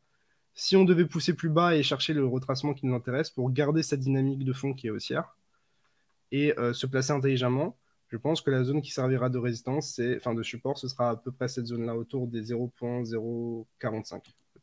Donc si on passe en dessous de cette zone et qu'on s'en sert comme résistance, je pense que la zone logique à aller chercher, c'est ici. Et donc à ce moment-là, je suis baissier tant qu'on reste en dessous de cette zone ici. Euh, ce qui me permettrait d'être euh, haussier, si jamais on passe au-dessus, enfin en dessous, qu'on repasse au-dessus et qu'on s'en sert comme support, à ce moment-là, là, ça pourrait plutôt bouler. On pourrait aller imaginer chercher la borne opposée, puisque ici ce serait une déviation, et lorsqu'on reclôture dedans, on va chercher la plupart du temps la borne opposée. Donc, tant qu'on clôture et qu'on passe du temps en dessous de la zone verte, je suis baissier. Euh, tant qu'on est dedans, globalement, il n'y a pas grand-chose à faire. Si on passe en dessous et qu'on réintègre rapidement, là, je suis plutôt boule. Euh, autrement, si on passe en dessous, euh, moi, je vise ici. Et c'est vraiment catastrophique pour les altes, hein, accessoirement. Voilà, un scénario à chaque fois. Et donc, pour répondre à la question qui dit J'aime bien Picsou, mais comme dit Samy, c'est la loterie, le trading. Bah, là, c'est pas la loterie, c'est juste j'ai globalement trois niveaux le haut du range, le milieu du range, le bas du range, et en fonction de comment le prix interagit, j'agis de manière différente. C'est aussi simple que ça. Euh, BTC, euh, concrètement, euh, oui, la T c'est de la loterie. Bah, globalement, on voit que bah, entre ces deux bornes, on, on fait que rebondir et que euh, quand on passe au-dessus et qu'on clôture dedans, bah, c'est-à-dire qu'on va repasser plus de temps dedans et que globalement, tous les gens qui ont acheté ici se sont fait piéger et qu'on a tendance à pousser le prix plus bas pour les, mettre en difficulté. Donc euh, là, c'est un range qui est tout simple et, voilà. Après, euh, voilà, plus tu montes en unité de temps, plus en général c'est efficace. Plus tu descends en unité de temps, plus c'est technique, plus c'est compliqué à l'interprétation de chacun. Moi, personnellement, je suis largement rentable avec ça. Donc, euh, c'est plus chacun son style. Si t'es pas dans le trading, en, fait, le problème, c'est qu'il y a trop de gens qui critiquent le trading parce qu'ils sont soit mauvais, soit qu'ils comprennent rien. Tu vois, c'est un peu comme dire. Euh, je sais. Euh, c'est un peu comme dire, je sais pas, la pêche, c'est nul, alors que t'as jamais fait de pêche de ta vie. Ou que t'as jamais été bon à la pêche, tu vois. Bah, disons que t'as as, envoyé, as envoyé un leurre, mais t'as jamais sorti de poisson, quoi. Du coup, c'est la faute de la pêche. Du coup, euh, c'est vrai que par contre, on a effectivement passé pas mal de temps sur la technique, mais je pense que c'était intéressant. Vous l'aurez compris, bon, il y a moyen de, chasser quelques, euh, quelques shorters euh, histoire de faire du mouvement. Si vous n'êtes pas du genre à faire beaucoup de trading, de toute façon, bah, j'ai envie de vous dire, forcément, ça va peut-être pas trop vous intéresser parce que vous, ce que vous souhaitez, c'est un truc sur un plateau d'argent. Léo vous a offert différents scénarios, c'est à vous d'en faire quelque chose. Côté fondamental, on va attaquer, du coup, on va parler des actualités de la semaine, on va parler du fonda. Ouais, c'est parti. Mais euh, voilà, l'objectif, c'est vraiment pour finir sur la partie analyse technique, d'essayer vous, enfin, de vous apporter de la valeur et de vous expliquer un petit peu comment moi je réfléchis. Après, si ça vous aide pas, que ça vous intéresse pas, bah, n'écoutez pas. Et pour ceux qui ont envie de progresser ou de comprendre, bah, écoutez, euh, écoutez, voilà. Peut-être faire euh, un tout petit point sur la conférence, euh, Capet, avant de passer. Ouais, ouais, ouais. Alors, pour la partie conférence, alors, on vous fera un petit point à chaque masterclass jusqu'au jour J, donc samedi 25. Je sais pas ce qui se passe avec ma carte graphique aujourd'hui. Est-ce que ce serait pas lié aux optis? Non, je pense pas. C'est je sais pas ce qui se passe avec ce PC de mort. Bref, alors pour la conférence, samedi 25 juin, on a lancé les paiements en crypto, si jamais. Donc, on l'a d'ailleurs pour la partie euh, paiement en crypto. Ouais, c'est disponible directement. Donc, paiement en carte bancaire, paiement en crypto. Ça se passera dans un hôtel qu'on, une partie de l'hôtel qu'on va privatiser. On sera un peu plus de 200 personnes sur différents sujets liés au DAO, euh, à l'analyse technique aussi. On va parler de trading, on va parler de, marketing. On va parler de pas mal de choses vis-à-vis des crypto-monnaies. Peut-être faire un point juste sur les sujets. Juste, ça me semble un peu important. Les, sujets. Il y, aura une intervention du coup voilà sur euh, genre comment make it dans les NFT avec justement des board ape, euh, des gens qui ont commencé vraiment tout au début, des gens qui sont arrivés un petit peu après, des gens qui ont créé des projets, des gens qui sont investisseurs. Donc vraiment un petit peu de tout. Euh, sur ce sujet-là, la, table ronde est, est, très cool. Il y aura une présentation avec. Il y a les implications légales et fiscales de la création de projets crypto NFT crypto et NFT en 2022. Donc, on vous parle de euh, ce, dont vous avez besoin euh, légalement et fiscalement pour, par exemple, créer un token, pour créer un NFT, comment vous allez avoir des difficultés peut-être à, trouver une banque, à trouver un cabinet d'avocats, bref, vraiment tout de A à Z pour créer son projet et qu'est-ce que ça implique. Ouais, et d'ailleurs, petit leak, je m'avance un peu sur ce sujet-là. J'ai eu le feu vert, donc je, m'avance un peu. On aura Pierre Persson, normalement, qui sera intervenant sur ce sujet-là aussi. Donc Pierre Pesso qui a participé entre autres à la mise en place du PSAN avec l'autorité des marchés financiers, qu'on pourra questionner. C'est un des seuls politiques français, j'ai pas dit le seul, c'est un des seuls politiques français qui s'intéresse au secteur des cryptos et qui nous défend. Donc euh, je lui ai demandé, il a, il a, dit oui avec plaisir, donc merci à lui et euh, ce sera l'occasion aussi peut-être de, le questionner sur place. Je ne sais pas quel sera son niveau de disponibilité, mais on va essayer de faire quelque chose de, de cool à ce niveau-là. Ensuite, donc préservation du capital à l'aide de stratégies de trading. On a qui un intervenant sur ce sujet-là d'ailleurs Captain Trading qui va nous parler du hedging, notamment avec les futures et les options, qui, va vous faire une présentation, qui va être seul sur cette présentation. Euh, on a pensé que ce serait quelque chose qui vous intéresse dans ces conditions de marché-là.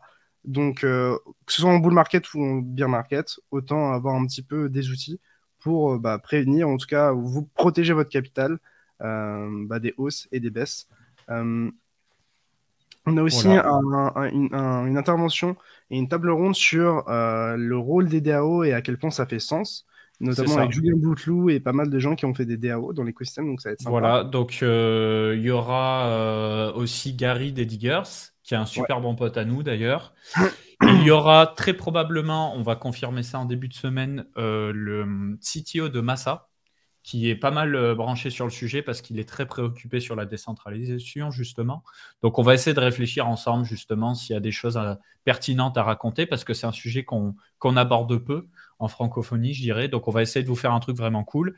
Et en dernier, effectivement, l'utilisation du marketing d'influence en crypto avec des gens qui sont directement euh, dans le game. Donc des marques, des influenceurs, des agences, vous allez avoir tout. Et du coup, l'objectif, c'est d'expliquer comment ça fonctionne, et peser aussi les pour, les contre, les dérives, enfin parler un petit peu de tout ça. Et évidemment, pour chaque intervention, il va y avoir des questions et des, des sessions questions-réponses avec le, public, donc ça va être une bonne occasion. Et, euh, et du coup, je peux repasser sur mon écran vite fait? Ouais, bien sûr. Du coup, euh, pour ceux qui ont du mal à visualiser, on vous a fait une petite vidéo de, euh, eh bien, de la conférence. Donc de où ça va être exactement. Et donc concrètement, ça va être bah, dans un hôtel 5 étoiles comme ça, vous avez tout le rooftop là-haut. Donc ça, c'est la vue du rooftop. Vous avez la Tour Eiffel, l'Arc de Triomphe, l'Opéra de Paris. Euh, voilà, c'est un hôtel qui est, très très quali. Et, euh, et voilà, donc c'est aussi l'explication du coup, c'est qu'on a des invités, donc faut les, invités, les défrayer, faut louer euh, les salles, etc. On, a un budget qui est assez, assez costaud sur ça. Et donc voilà, donc c'est pour ça aussi qu'on on met un petit peu les moyens, c'est qu'on voulait vraiment faire euh, une conférence qui, au-delà même du contenu, est dans un cadre qui est assez magique. Là, je suis en train de contacter plein de gens du Crypto Tutor pour que vous puissiez vraiment avoir tout le monde, tous les gens que vous suivez. Et euh, aussi, euh, qu'est-ce que je voulais dire? J'ai oublié. Oui, c'est vraiment une occasion aussi de se réunir. C'est-à-dire que là, vous avez sur tout le haut, vous avez le rooftop qu'on va avoir. donc c'est là où bah, globalement on va avoir une soirée de 4 heures où on va pouvoir avoir, bah, se faire rincer, champagne, cocktail, restauration, etc et surtout échanger avec tout le monde. Donc vous aurez l'occasion d'échanger avec moi, Capette, mais surtout avec euh, bah, tous les intervenants et euh, bah, tous les gens qui viennent à la conf. Donc c'est vraiment un bon moyen de se faire du réseau, euh, de kiffer, de sortir un petit peu de sa bulle et de parler des pertes qu'on fait chacun ensemble. Voilà, donc on va essayer de faire venir un peu de monde sympa. Vous allez avoir du coup des marques, vous aurez des influenceurs. Euh, pas forcément que de la crypto d'ailleurs, je pense. On va essayer d'avoir un petit peu tout le monde. Le but, c'est de faire une première belle édition. Donc, on vous en parlera un petit peu à chaque dimanche. Le paiement se fait soit par, par carte bancaire, soit par euh, crypto-monnaie. Et d'ailleurs, Léo, tu avais préparé un petit quelque chose pour ceux qui, qui nous écoutent pendant le live. Alors, euh, du coup, pour ceux qui sont sur le live, uniquement pendant le live, on a 15% de réduction sur les 5 premiers arrivés avec le code BuyTheDeep que j'ai mis dans le chat, non, dans, dans ton chat et le mien. Euh, et du coup, euh, bah, c'est possible avec le paiement en crypto ou en CB. Donc les deux sont possibles. Et euh, voilà, donc il y a pas mal de places qui sont déjà parties, honnêtement. On a quasiment tous nos partenaires, donc, donc là, c'est assez sympa. Et, et, voilà, et cette fois, ça marche avec le VIP aussi. Donc, donc voilà, et je pense qu'à l'occasion, on offrira une place ou, quoi. Mm. Voilà, pour l'instant, on préfère quand même bien remplir la billetterie vu qu'on sait qu'il y a de la demande. Mais, mais voilà, et du coup, on accepte. Ce qu'on veut, c'est vraiment marquer le coup. Quoi. Sur la première édition, faire des belles images, que ça se passe bien, que les gens kiffent bien. C'est nouveau pour nous. Donc euh, voilà, j'espère que ça vous plaira en tout cas. Disclaimer, je, sincèrement, l'objectif avec cette conférence, c'est pas de faire de l'argent. Euh, peut-être qu'il y a des gens qui vont avoir du mal à y croire, mais euh, je pense qu'on va juste rentrer dans nos frais. Donc l'objectif, c'est. il y a quelqu'un qui me demande s'il y aura Cryptost. bah écoute, je me demande qui a posé cette question. Voyons, voyons, voyons.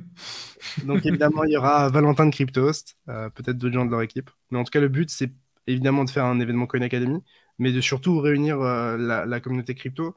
Euh, moi, sincèrement, il y a plein de gens que j'ai pas eu l'occasion de rencontrer dans les custom crypto, que ce soit des gens qui tweetent, des traders, des gens qui sont costants au Fonda, des gens qui nous suivent.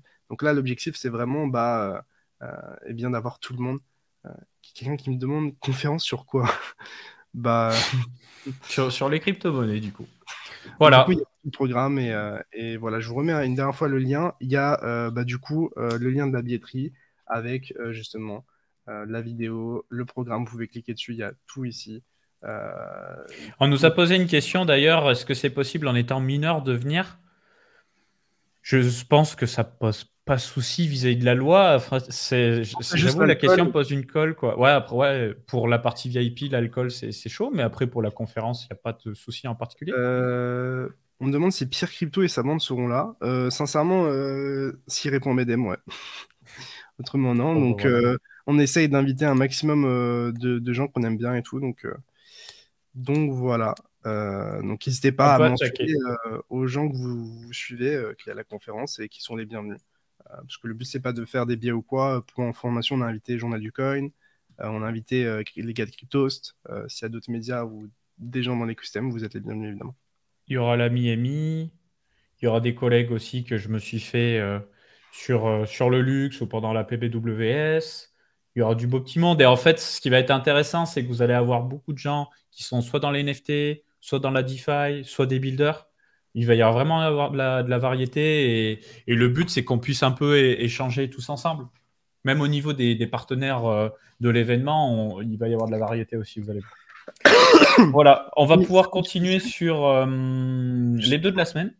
On me demande juste Samy JDC. Euh, je sais pas s'il sera là. Je crois qu'il est un peu loin, donc ça fait long pour, pour juste une journée. Mais voilà. En tout cas, on lui a proposé. Et si jamais il est Zeller, je lui, je lui, ai proposé. En DM, il m'a pas répondu.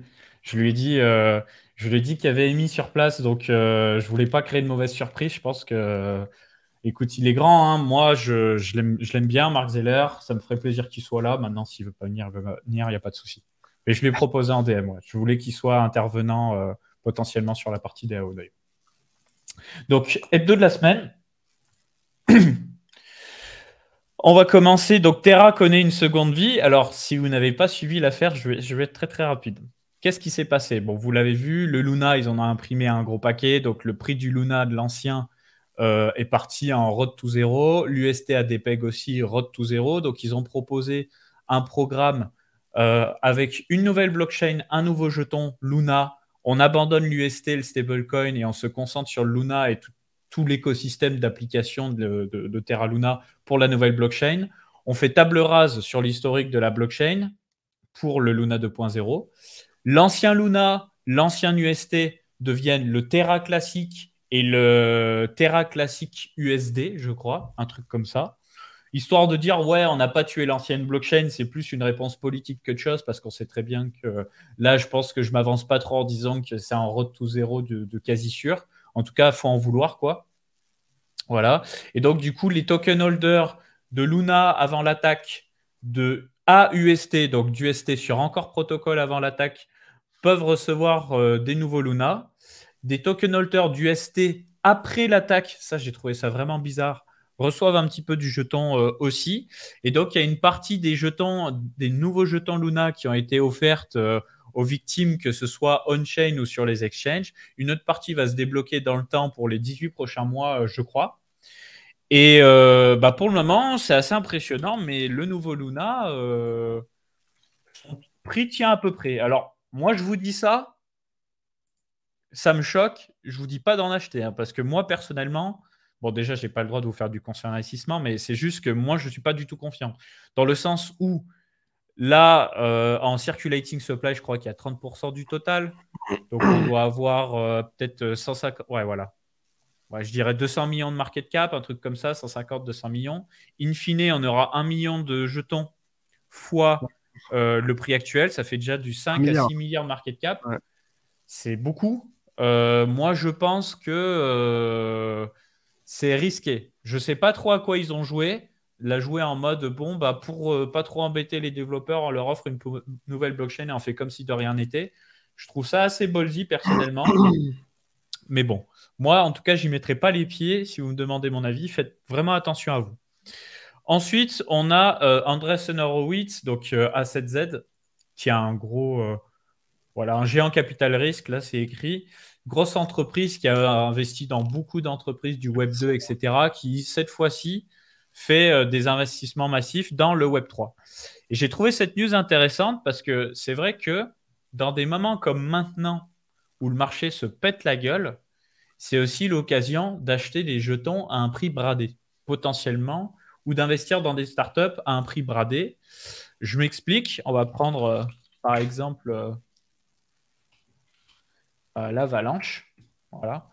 Des blockchains type Solana, Avalanche, Phantom, elles, ils ont levé des fonds pendant le bear market, donc en février 2019, juin 2020, etc. Et comme c'était le bear, Excusez-moi pour les micro-bugs.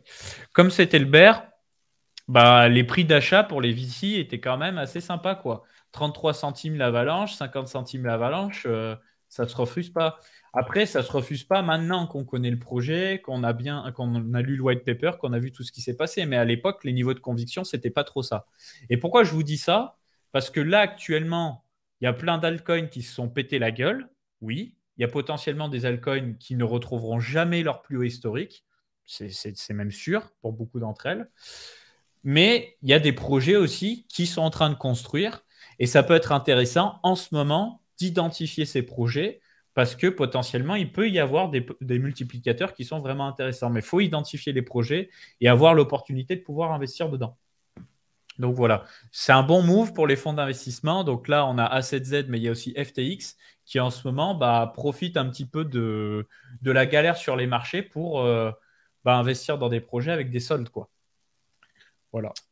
Est-ce que, est que je fais euh, juste mon commercial vite fait sur deux trucs? Alors déjà, euh, le, code de réduction qu'on vous a donné, pour le moins 15%, il était sur 5 places. il y en a 3 qui, qui, ont été prises, donc il n'en reste que 2. Et pour rebondir sur ce que tu disais, euh, je regarde Up Only de, de Kobe, euh, qui est donc euh, Kobe, un mec assez connu sur, sur le, Twitter US. en gros, il invitait des gens et il disait justement que bah, on se rapprochait du prix pré-sale de plein de tokens. Donc tous les gens qui se plaignent de qui se plaignent justement du fait que bah, toujours on se fait baiser la gueule et qu'on n'a pas accès à des prix. voilà. Si jamais il y a des projets qui vous plaisent vraiment, ça peut être cette opportunité-là. Après, il faut pas faut pas oublier évidemment que dans ce contexte-là, tout ce qui est en dehors de Bitcoin et Ethereum, voilà, c'est compliqué, quoi. Donc, donc voilà, plus de risques, puisque voilà, si le prix a largement baissé, on ne sait pas ce que peut devenir le projet. Mais si vous avez un projet dont, sur lequel vous êtes vraiment confiant, que vous adorez, etc., et qui se rapproche du, prix de pré-sale ou en tout cas de la token sale ou quoi, peut-être peut-être scoop un petit bac, quoi. Bah ouais, là, c'est ce que j'essaie de mettre en évidence, tu vois. Alors, tu as des jetons qui sont sortis il y a un certain temps. Euh, et c'est vrai qu'on revient sur des prix pré-sale. Hein. Internet Computer, qui était pourtant monté très très fort. Nervos, qui est en négatif. Algorand, qui est en plus que négatif depuis le prix pré-sale. On revient sur des niveaux de prix euh, potables pour euh, Cadena. Solana, alors attends. Ah oui, mais parce que le Solana, ils ont, dû le vendre ils ont dû le vendre des miettes, en fait. Donc, pour le cas du Solana, effectivement, je regarde un petit peu. Celo aussi. Alors, Nier, qui a très très bien performé. Flow, j'en parlais tout à l'heure. Flow, c'est une blockchain spécialisée NFT euh, qui héberge entre autres euh, les CryptoKitties, euh, mais aussi le. Je crois que c'est NBA Top Shot, un truc comme ça. Casper, le coin d'influenceur que tout le monde chillait. Bon, bah voilà, Casper, il revient sur les niveaux d'achat précédents. Bref, je ne vais pas tous les citer.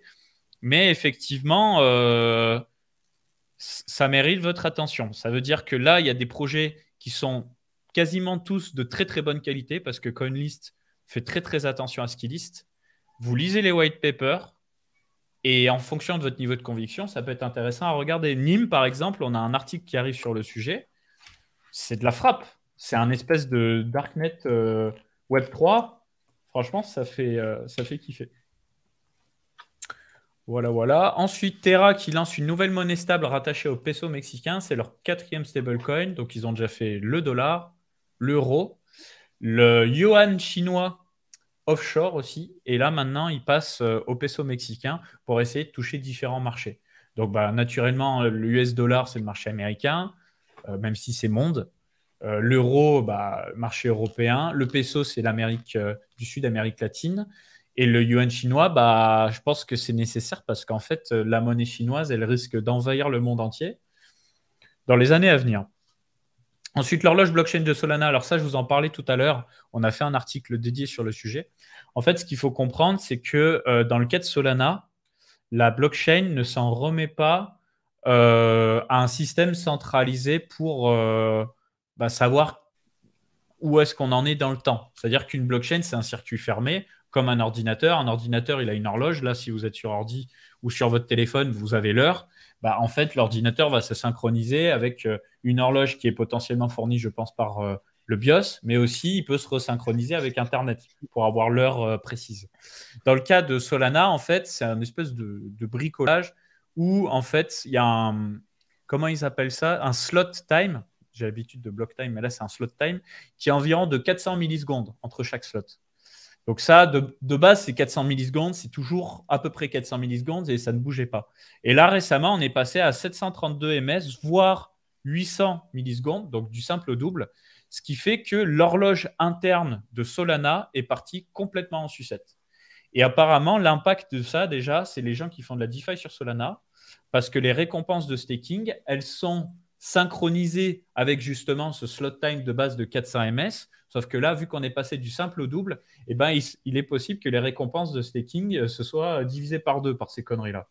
Donc, euh, encore une fois, ça craint de ouf. Je vous laisserai lire l'article en profondeur qui explique bien euh, tout ça. Mais beaucoup de problèmes différents. entre le transactionnel, là c'est le proof of history, du coup, toutes les technos sous-jacentes de Solana qui disaient que Solana était unique, bah, sont un peu en train de dévisser. quoi. Donc je leur souhaite bonne chance, mais en tout cas, c'est pas très rassurant.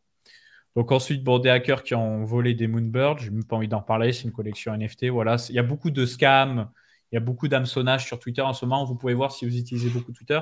Il y a des publicités pour des collections NFT, c'est même pas des collections officielles et souvent euh, ça peut très mal finir. Donc faites attention à ça. Voyager dans le temps, c'est possible avec Solana. C'est un peu l'idée, ouais. C'est un peu l'idée. Euh, au lieu d'avoir des journées de. Enfin, une année de 365 jours, tu as une année de 700 jours avec Solana. C'est un concept qui est assez intéressant, effectivement. Apparemment, encore, c'est fait hack hier Encore, c'est fait hack hier Ok. Bon, j'ai pas suivi. J'ai pas, pas, pas eu l'info. J'ai pas eu l'info. Mais euh, voilà, vous voyez, en bear market, euh, c'est un peu la merde. Pour la petite parenthèse d'ailleurs, moi sur mon bull market précédent en crypto, mon, mon folio s'est fait charcuter à son prime par un hack d'un exchange. Il y a un autre exchange, bah, c'était quoi? C'était euh, Cryptopia qui est parti avec la caisse. L'exchange Bitrex qui m'a bloqué mon argent jusqu'à que la KYC soit possible. D'ailleurs, récemment, on en parlait avec Léo. Bitrex, des fois, ils aiment bien te dire Ouais, t'as pas le droit de vendre tes jetons, on voit un ticket au support. T'es là, non, mais les gars, euh, moi, je veux juste vendre en fait. Donc, ne mettez pas tous vos œufs dans le même panier, ne mettez pas tout votre argent dans un seul même exchange potentiellement, parce que sur vous êtes à l'abri de rien. peux pas vendre quoi. C'est chaud, non? C'est chaud, hein. Bitrex, euh, pourtant, c'était les cracks à l'époque. Hein. Je sais pas. Là, tu es là, es là, t'as un token, tu peux même pas le vendre, gros. C'est un truc de fou. Un truc de fou. Ok, merci beaucoup pour encore. Ensuite, euh, alors ça, c'est une parenthèse de chez Parenthèse. Il y a une extension Chrome qui vous permet d'activer le Bionic Reading. Alors, je vous en parle rapidos. Vous avez peut-être entendu parler de ce truc. Je l'installe. Le Bionic Reading, c'est une nouvelle façon de lire. Alors, je vais vous montrer comment ça se passe. On va prendre ce texte-là, en l'occurrence. Donc, là, il a tout ce qu'il y a de plus normal. Putain, il va falloir que je trouve une solution pour ma carte graphique parce qu'elle fait, fait des dingueries là. Ensuite, euh, vous activez donc le Bionic Reading. Hop, hop, enable je rafraîchis ma page. Et en fait, ce que ça fait, c'est que ça met en évidence en gras les trois premiers caractères de chaque mot et ça vous permet du coup de faciliter la lecture de votre texte. Et ça paraît tout con comme ça. J'ai attaqué euh, de lire comme ça depuis hier soir et ça facilite la lecture, un truc de dingue, je trouve. Parce que ça permet en fait de focus au début de chaque mot et c'est. Tu devines le mot d'après et du coup tu vas plus vite en gros. Je vous montre un exemple. Euh, avant-après, et je ne vais pas rester 15 jours dessus, mais c'est juste euh, histoire de dire. Hop, hop. Voilà. Donc vous avez l'avant et le après, et ça facilite grandement la lecture, je trouve. Donc je vais vous envoyer le lien pour l'extension Chrome si ça vous intéresse, et ça peut vous aider potentiellement à, vous faciliter la lecture pour des textes en anglais, pour des white papers, des trucs comme ça quand vous faites euh, de la crypto. A des extensions encore plus poussées, bah, n'hésitez pas à me les envoyer sur Twitter. Je les prends, je les prends avec plaisir. Hop, je désactive euh, en attendant pour le live. Ensuite, ouais, je voulais faire une petite parenthèse. Profitez aussi du fait que là, les frais de transaction sur Ethereum commencent à redevenir très bas. Si vous aviez peut-être des, des, prêts sur AVE, je sais pas, euh, des collections NFT, des trucs comme ça, des transactions à faire mais vous considériez que c'était trop cher, là, c'est pas cher. Donc, euh, c'est l'occasion. Euh, il y, a du bon aussi dans le bear market. C'est l'occasion. Je me rappelle, j'ai quand même payé euh, deux ETH de frais de transaction sur Overside. Overside, ouais. Faudra qu'on regarde la paire Aleph USDT. Il a demandé toute la soirée, Lou, oh boy. On essaie d'y penser. Qu'est-ce que j'ai noté? Alors oui, il y a ce papier aussi qui est sorti aujourd'hui qui a expliqué euh, la réorganisation des blocs sur la Bitcoin Chain Ethereum. Donc, je vais vous faire une petite traduction. Aujourd'hui, Ethereum, à l'instant T, il est en proof of work et en proof of stake. Mais le proof of stake, c'est très très limité pour le moment. C'est la fameuse Bitcoin Chain. Et donc, ce qui s'est passé, c'est que sur la partie proof of stake d'Ethereum, il y a eu un soft fork, c'est-à-dire que c'est un fork euh, qui ne génère pas une division de la chaîne, contrairement au hard fork. Et donc, il peut y avoir des gens qui ont une compréhension de la chaîne différente. Et pour autant, ça ne crée pas trop le bordel. J'espère que je ne vous ai pas trop perdu en l'expliquant comme ça. Donc, en fait, le problème, qu'est-ce qui s'est passé ici? C'est qu'on a des acteurs de la blockchain qui ont eu euh, une vision différente de comment il fallait traiter justement le proof of stake sur le réseau. C'est-à-dire qu'on avait une partie des validateurs qui n'avait pas la nouvelle mise à jour et une autre partie qui l'avait. Et du coup, en fonction de la mise à jour qu'ils avaient à leur disposition, ils votaient pas de la même façon quel bloc devait passer en priorité. Et donc, ce qui s'est passé, c'est que, tu vois, as, normalement, dans la blockchain, il faut comprendre que c'est la chaîne la plus longue qui gagne. Et du coup, on, oublie la, chaîne plus petite et on va toujours se concentrer sur la plus longue. Par exemple, dans Bitcoin, tu peux avoir des mineurs qui, dans un laps de temps très court, arrivent à miner un bloc chacun de leur côté et le soumettent au réseau. Donc ensuite, c'est le reste du réseau qui reprennent euh, la blockchain euh, des autres. Et au final, c'est toujours la blockchain la plus longue qui gagne. C'est comme ça que ça se passe. Là, ici, ce qui s'est passé, c'est qu'on a eu sept blocs. Donc normalement, une blockchain beaucoup plus longue qui était en train de se faire. Sauf qu'ensuite, à partir du bloc 81, on a rebooké sur une autre chaîne pour le bloc 82. Et donc, ce qui s'est passé du coup, c'est que tous ces blocs-là, bah, entre parenthèses, sont partis à la poubelle. Et ça a créé beaucoup de panique sur les marchés, beaucoup d'incompréhension. Donc, je vais difficilement pouvoir vous expliquer en détail là dans le live qu'est-ce qui s'est passé. Donc, je vais simplement vous envoyer dans le chat euh, l'article pour ceux qui veulent lire. Mais en gros, ce qu'il faut comprendre, c'est que c'est un soft fork. C'est-à-dire que ce n'est pas un fork qui a été euh, poussé par la force, disons ça comme ça. Donc, on a eu une différence de compréhension du consensus proof of stake entre les différents acteurs. Quand on va passer sur l'Ethereum en proof of stake via The Merge, ça va se passer avec un hard fork. Donc, il n'y aura pas de, il y aura pas de euh, certains une compréhension, certains autres ont une autre compréhension. Non. Tout le monde va passer sur la nouvelle blockchain et tout le monde va abandonner l'ancienne. Donc, sur The Merge, il n'y aura pas ce problème. Par contre, ce qu'il y a d'intéressant à retenir de cette histoire, c'est que absolument personne visiblement s'attendait à quelque chose comme ça. Et encore aujourd'hui, on tire beaucoup de conséquences de ce qui s'est passé. Il y a beaucoup de Bitcoin Maxi aussi qui euh, se sont fait un malin plaisir à, cracher sur, euh, sur Ethereum en Proof of Stake par rapport à ce qui s'est passé. Mais du coup, ce qu'il faut en retenir, c'est que potentiellement, peut-être que l'idée des soft forks sur Ethereum, il faut y arrêter. Il faut que des hard forks. Comme ça, au moins, il n'y aura pas de petit écart et potentiellement euh, pas ce genre de problème mais c'est une probabilité extrêmement faible que ça arrive. Et c'est des problèmes qui sont très, très techniques, en fait, parce que c'est de la gouvernance, c'est, euh, si vous voulez, c'est du staking, euh, de la validation de blocs, etc., etc. Il faut comprendre exactement comment fonctionne une blockchain pour avoir connaissance de ces problèmes-là. Mais euh, sachez que les Bitcoin Maxi ne jurent que par le proof of work, justement parce qu'au proof of work, pendant 13 ans, bah, c'est pas parti en sucette quoi, sur Bitcoin. À part peut-être au tout début, il y a eu quelques soucis parce que la, taille des blocs n'était pas limitée. Parce qu'au tout début de Bitcoin, la taille des blocs n'était pas limitée. C'est seulement après, en, en, que Satoshi a forcé la taille des blocs à un méga par bloc. Mais voilà. Donc, bref, petite explication un peu technique. Ensuite, on a sorti un article aujourd'hui qui parle de l'adoption du Bitcoin en Centrafrique. Donc, Centrafrique, qui est le deuxième pays à adopter euh, Bitcoin comme monnaie légale après le Salvador, en sachant que la Centrafrique de base avait comme monnaie légale le franc CFA. Et euh, ce qui est expliqué dans cet article, c'est assez intéressant, c'est que, en fait, visiblement, la Centrafrique est dans une espèce de constitution, euh, voilà, une organisation internationale de plusieurs pays d'Afrique centrale. Et cette, euh, cette comment dire, que je, je, fasse attention aux mots. Voilà, on va dire que cette communauté internationale met bien en évidence le fait que l'unité monétaire légale des États membres de l'Union est le franc CFA et pas une autre. Et en ayant forcé le Bitcoin comme monnaie légale, visiblement, ils ont violé le traité mis en place dans la communauté internationale. Il y a aussi des accusations comme quoi le fait de, bah, de favoriser aussi le Bitcoin en monnaie légale ça peut bah, favoriser la Russie aussi, puisque la Russie va de plus en plus utiliser les cryptos pour pouvoir faire ses échanges à l'international, vu qu'elle subit des sanctions économiques euh, vis-à-vis de l'Europe euh, et de l'Amérique. Donc voilà, je vous laisserai lire l'article. La question est ouverte sur si c'est bien, c'est pas bien. Moi, si vous me demandez mon avis, je trouve ça très très bien.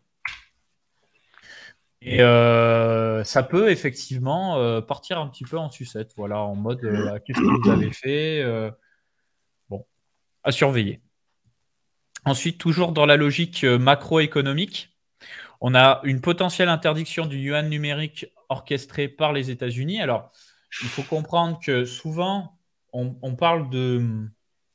Comment dire On parle de crypto-monnaies des États. Quand on parle de CBDC, ce ne sont pas des crypto-monnaies, ce sont des monnaies numériques qui ne sont plus émises par des banques privées commerciales, mais par une banque centrale. Par exemple, les pièces et les billets sont émises par des banques centrales. Les billets en euros, c'est la Banque centrale européenne, et les pièces de 1 centime, 2, 5, 10, 20, 50 centimes, c'est par exemple la Banque de France qui les produit pour la France. Donc, ce sont des banques centrales. Dans le cas des monnaies numériques de banque centrale, ce ne sont pas des cryptos, ce sont des monnaies numériques dites de banque centrale, encore une fois. Et ce qu'il faut comprendre, c'est que les Chinois sont avant-gardistes là-dessus, parce que dès l'année 2019, ils ont déjà mis en place leur monnaie numérique de banque centrale. Ils ne l'ont pas imposée à tous les Chinois. Ils y vont progressivement. Par exemple, tu peux avoir, euh, je sais pas moi, des salariés euh, d'une entreprise étatique, euh, enfin, d'une organisation étatique chinoise, où on te dit, bon, bah, tu vas être payé en monnaie chinoise classique ou tu veux être payé en monnaie numérique. Et potentiellement, on te dit, bah, tu seras peut-être payé un peu mieux avec la monnaie numérique, des trucs comme ça pour les pousser progressivement à utiliser la nouvelle monnaie numérique. Quel est l'intérêt de la nouvelle monnaie numérique? Et eh ben, Si c'est la banque centrale qui est dirigée par l'État, dans le cas de la Chine, qui émet cette monnaie, bah, c'est les politiques monétaires de l'État qui sont mises en place et on peut potentiellement geler ton argent d'un simple clic gauche, appliquer des pénalités si tu dépenses pas ton argent, pour te pousser à dépenser ton argent, pour pas avoir de la monnaie qui, dort et donc qui peut créer des, des problèmes dans l'économie, etc., etc., etc. Et aussi l'avantage pour la Chine, en l'occurrence, c'est que ça peut leur permettre de euh, faciliter les échanges euh, pour euh, bah, différentes denrées, énergie, etc., avec les différents pays. Et il faut savoir que les États-Unis leur avaient appliqué des sanctions aussi à la Chine et que cette monnaie numérique pourrait leur permettre de bypasser les sanctions américaines. Donc, du coup, les Américains sont un petit peu embêtés. Et en plus de ça, vu que la monnaie euh, chinoise, elle conserve plutôt pas mal sa valeur, puisque la Banque centrale et l'État euh, manipulent son cours, eh bien, on peut dire d'une certaine façon, je crois, que la monnaie chinoise surperforme le dollar américain. Donc, potentiellement, il peut y avoir des traders, des trucs comme ça, qui vont se hedger sur la monnaie chinoise plutôt que de se hedger sur le dollar parce que ça conserve mieux sa, valeur. Mais là-dessus, je ne veux pas dire trop de bêtises parce que je ne connais pas suffisamment le sujet. Mais ce qui est d'intéressant du coup là-dedans, c'est qu'en ce moment, on a l'éternel bras de fer entre euh, la Chine et euh, les États-Unis. On a pu voir par exemple récemment le président américain dire que euh, si jamais la Chine allait envahir Taïwan, qui est historiquement une île chinoise, eh bien, l'Amérique euh, n'hésitera pas à intervenir. Et derrière, on a eu la Chine qui a répondu publiquement, comme à chaque fois face aux caméras. C'est sous-titré en plus. Et franchement, ça fait pas rire. Où il dit euh, vous, avez, vous avez rompu votre engagement. Si jamais l'Amérique vient sur le sol taïwanais pendant que nous on attaque, on va vous monter en l'air. Donc là, ça commence vraiment à, mal parler. Ils ont dit des conséquences, euh, je sais plus ce qu'ils disaient, mais des, des, conséquences euh, irrémédiables, ou je sais, sais pas, en, tout cas, un truc genre vraiment violent, quoi. J'ai regardé la vidéo que Capet l'a envoyée, ah, Alors après, c'est pas quelque chose de nouveau, hein. c'est un bras de fer qui est constant avec euh, des implications politiques et économiques. Alors politique, pourquoi? Parce que historiquement, il faut savoir que Taïwan appartient à la Chine et qu'en fait, le Parti communiste chinois a tellement pris le pouvoir en Chine que les nationalistes chinois, qui est un autre parti politique, se sont exilés à Taïwan. Mais en fait, Taïwan, pour les Chinois, c'est pas un pays, c'est une région de Chine. Et pour certaines communautés internationales, c'est un pays ou c'est pas un pays. Et il faut faire très attention parce que quand tu dis à la Chine que Taïwan est un pays, euh, les Chinois, ils te disent, toi, tu viens plus à table avec nous, tu viens plus manger avec nous. Donc du coup, il y a, cette euh, situation politique. Et d'un point de vue économique, il faut savoir qu'à Taïwan, il y a énormément de composants hardware qui sont produits, que ce soit des processeurs et des cartes graphiques, euh, donc AMD, Intel, Nvidia, euh, Samsung peut-être un petit peu, mais je ne suis pas sûr.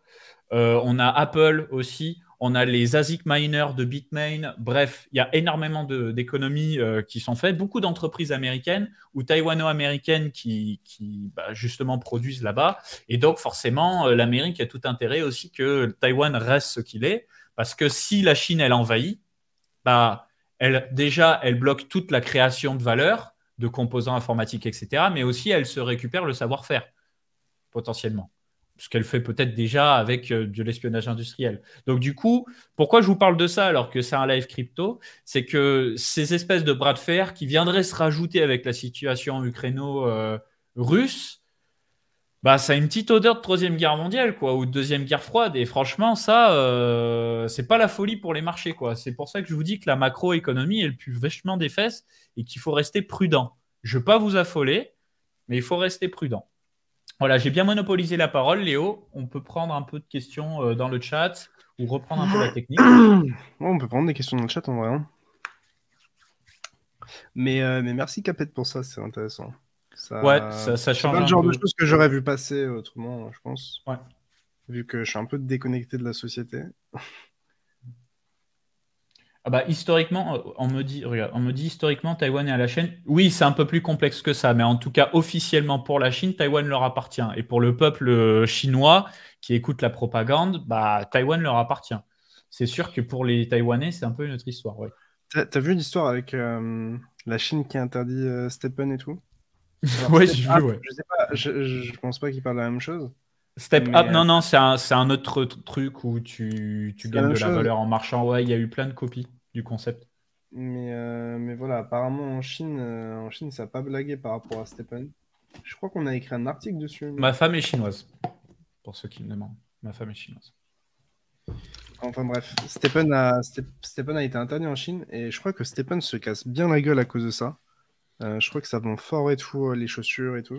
ouais, bah ouais, c'est sûr. Hein. Sur mais encore une fois, le but c'est pas de donner des leçons, mais c'est un peu un comportement que je retrouve, je sais pas si tu te souviens, mais vraiment les mecs qui étaient à fond sur, euh, je sais pas, Ripple, sur Shiba, euh, et puis d'un coup, les mecs qui sont à fond sur les Elrond qu'on est à 400-500 dollars, et que euh, tous les mecs qui sont à fond sur Stephen, voilà. Ah, bah, c'est des communautés, c'est normal, c'est normal. Nous aussi, on a notre oui, mais, un peu, un peu, un peu, un peu. Wesh, il se passe quoi là? Ça, ça, c'est le Aleph, ça bouge pas, ouais, c'est ce qu'il nous disait. il voulait qu'on regarde. C'est bizarre, hein c'est sur KuCoin. Qu'est-ce que c'est que ces histoires? Avec des grosses mèches de temps en temps. Peut-être un, listing à prévoir, hein, je sais pas. Parce qu'ils sont où ils sont que sur KuCoin, ouais. Non mais le graphique déjà il est hyper chelou, ça fait hyper manipulé quoi. Genre c'est. Mm. Enfin, je sais... pas, c'est très très bizarre. ouais, c'est bizarre. Si vous avez des questions, n'hésitez pas. Chat, ouais. Petite question technique, est-ce qu'il faut placer des stop-loss sur du DCA ou on s'en fout? Bah, Le but du, DCA, c'est de faire de l'investissement. Donc en gros, tu te fais ton plan. En gros, pour moi, le plan, c'est quoi? C'est, euh, Enfin, tu as une thèse de base, du style euh, je crois en Bitcoin euh, pour plein de raisons, parce que ça va être un, enfin, c'est un layer de settlement, c'est la crypto historique qui s'est jamais fait hack, qui a jamais eu de problème, qui n'a plus décentralisé, etc tu penses que euh, bah, on va respecter un peu les cycles et que on va rester dans une tendance sociale long terme, et donc tu souhaites accumuler? Et donc en gros, tu peux te dire, euh, je fais, je fais du DCA sur, euh, je sais pas, les 6, 12, 12 24, 36 prochains mois. Et mon objectif, c'est, j'en sais rien, de prendre des profits de telle ou telle manière. par exemple, de prendre des profits quoi qu'il se passe dans deux ans. Ou de prendre des profits à chaque fois qu'on fait un double, donc à chaque fois qu'on fait x2, x4, x8. Ou de prendre des profits J'en sais en fonction d'un indicateur. À chaque fois qu'en weekly, on est en, sur, en surachat, peut-être vendre 10% euh, de ta position. En fait, c'est vraiment ta stratégie d'investissement, c'est véritablement euh, ta stratégie. Donc, c'est à toi de la, de build, donc de la construire à partir de, de, de, comment t'es et trouver quelque chose qui va te, correspondre. Il euh, n'y a pas de format préfet, mais voilà, après, il y a des gens qui font du DCA en, en achetant un intervalle régulier de prix ou un intervalle régulier de temps. Il y a plein de manières de le faire. Donc, euh, à toi de construire ta stratégie. Du coup, on me pose les questions des crypto-monnaies du top 100 qui, pour moi, resteront d'ici 3-4 ans. Bah, elles vont quasiment toutes rester pour des raisons diverses et variées, selon moi. Bon, pas besoin d'expliquer pourquoi Ether. Après, tu as les stablecoins, le BNB, XRP, toujours là. Hein. alors que leur euh, procès euh, n'a toujours pas vu le bout. d'ailleurs. Mais XRP toujours là. Euh, il faut évoluer le protocole avec XRP Ledger. Euh, bon, toujours là. BUSD, c'est carré. Cardano, les gens veulent pas le vendre. Il se passe pas grand chose, mais les gens veulent pas le vendre. Ils sont en train de mettre en place des layer 2 type Milkomeda, donc ils vont faire de l'interop. Le supply, euh, donc le supply est décentralisé. Cardano est une blockchain décentralisée, il faut le dire. Voilà. On crache souvent sur Cardano. Cardano est une des blockchains les plus décentralisées, il faut le dire. Donc, c'est important de le noter, quand même. Ensuite, euh, bah, Solana, je pense qu'il va rester là. Polkadot aussi. Dogecoin pour le mime. Tron, toujours là. 13e Tron, gros. Mais attends. Polkadot, j'ai pas de conviction. Tron, j'ai pas de conviction. Solana, j'ai une demi-conviction.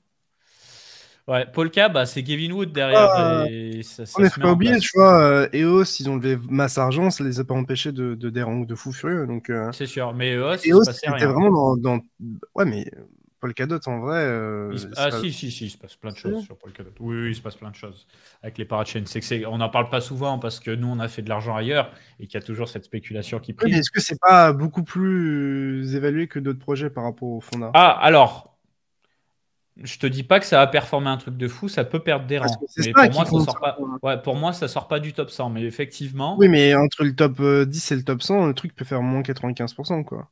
Et rester dedans En parce fait- que c'est un... en fait, la tokenomics, elle fait pas rêver. Parce que le seul intérêt d'avoir du DOT hors spécu, c'est de participer aux enchères ou alors eh demander à être dans les enchères pour euh, bah, loquer une parachain. Quoi. Ça coûte extrêmement cher. Mais euh, vu que pour le moment, l'écosystème il est encore relativement early et qu'ils n'ont pas eu une parachain où tout le monde en parle comme ils parlent du Stepen ou de Solana. C'est le seul qui sort en boîte avec. c'est vrai ça. C'est vrai ça. Je, je m'en- je reste avec la, la plèbe. Excellent. Avalanche, pas mal. DAI en stablecoin décentralisé. Après, euh, par contre, on va commencer à rentrer dans, dans des bails sombres. Litecoin, il y a moyen que ça parte à la cave. hein. Vu comme c'est parti, euh, il y a moyen que, à part s'il y a un- une grosse manipulation pour lui Moi, je te dis un Litecoin, pour moi, c'est direction zéro euh, tout doucement. je Franchement, pense. D'un point de vue technique, spéculatif, il est dégueulasse. D'un point de vue fonda, il est dégueulasse. Enfin, genre, Ouais, je vois pas ouais. comment il se place par rapport à d'autres choses ici. Hmm. Donc, euh, sincèrement, pff. FTT, c'est fou. Hein. FTT, il est, il, il- il est top 22 Hmm. en ayant pris une grosse claque et en faisant rien. C'est fou hein, Hmm. quand même. hein. Exact. Ça fait- ça Polygon, fait strong. hein. Polygon Strong. Bitcoin Cash, euh, ça sent de plus en plus la direction la cave aussi.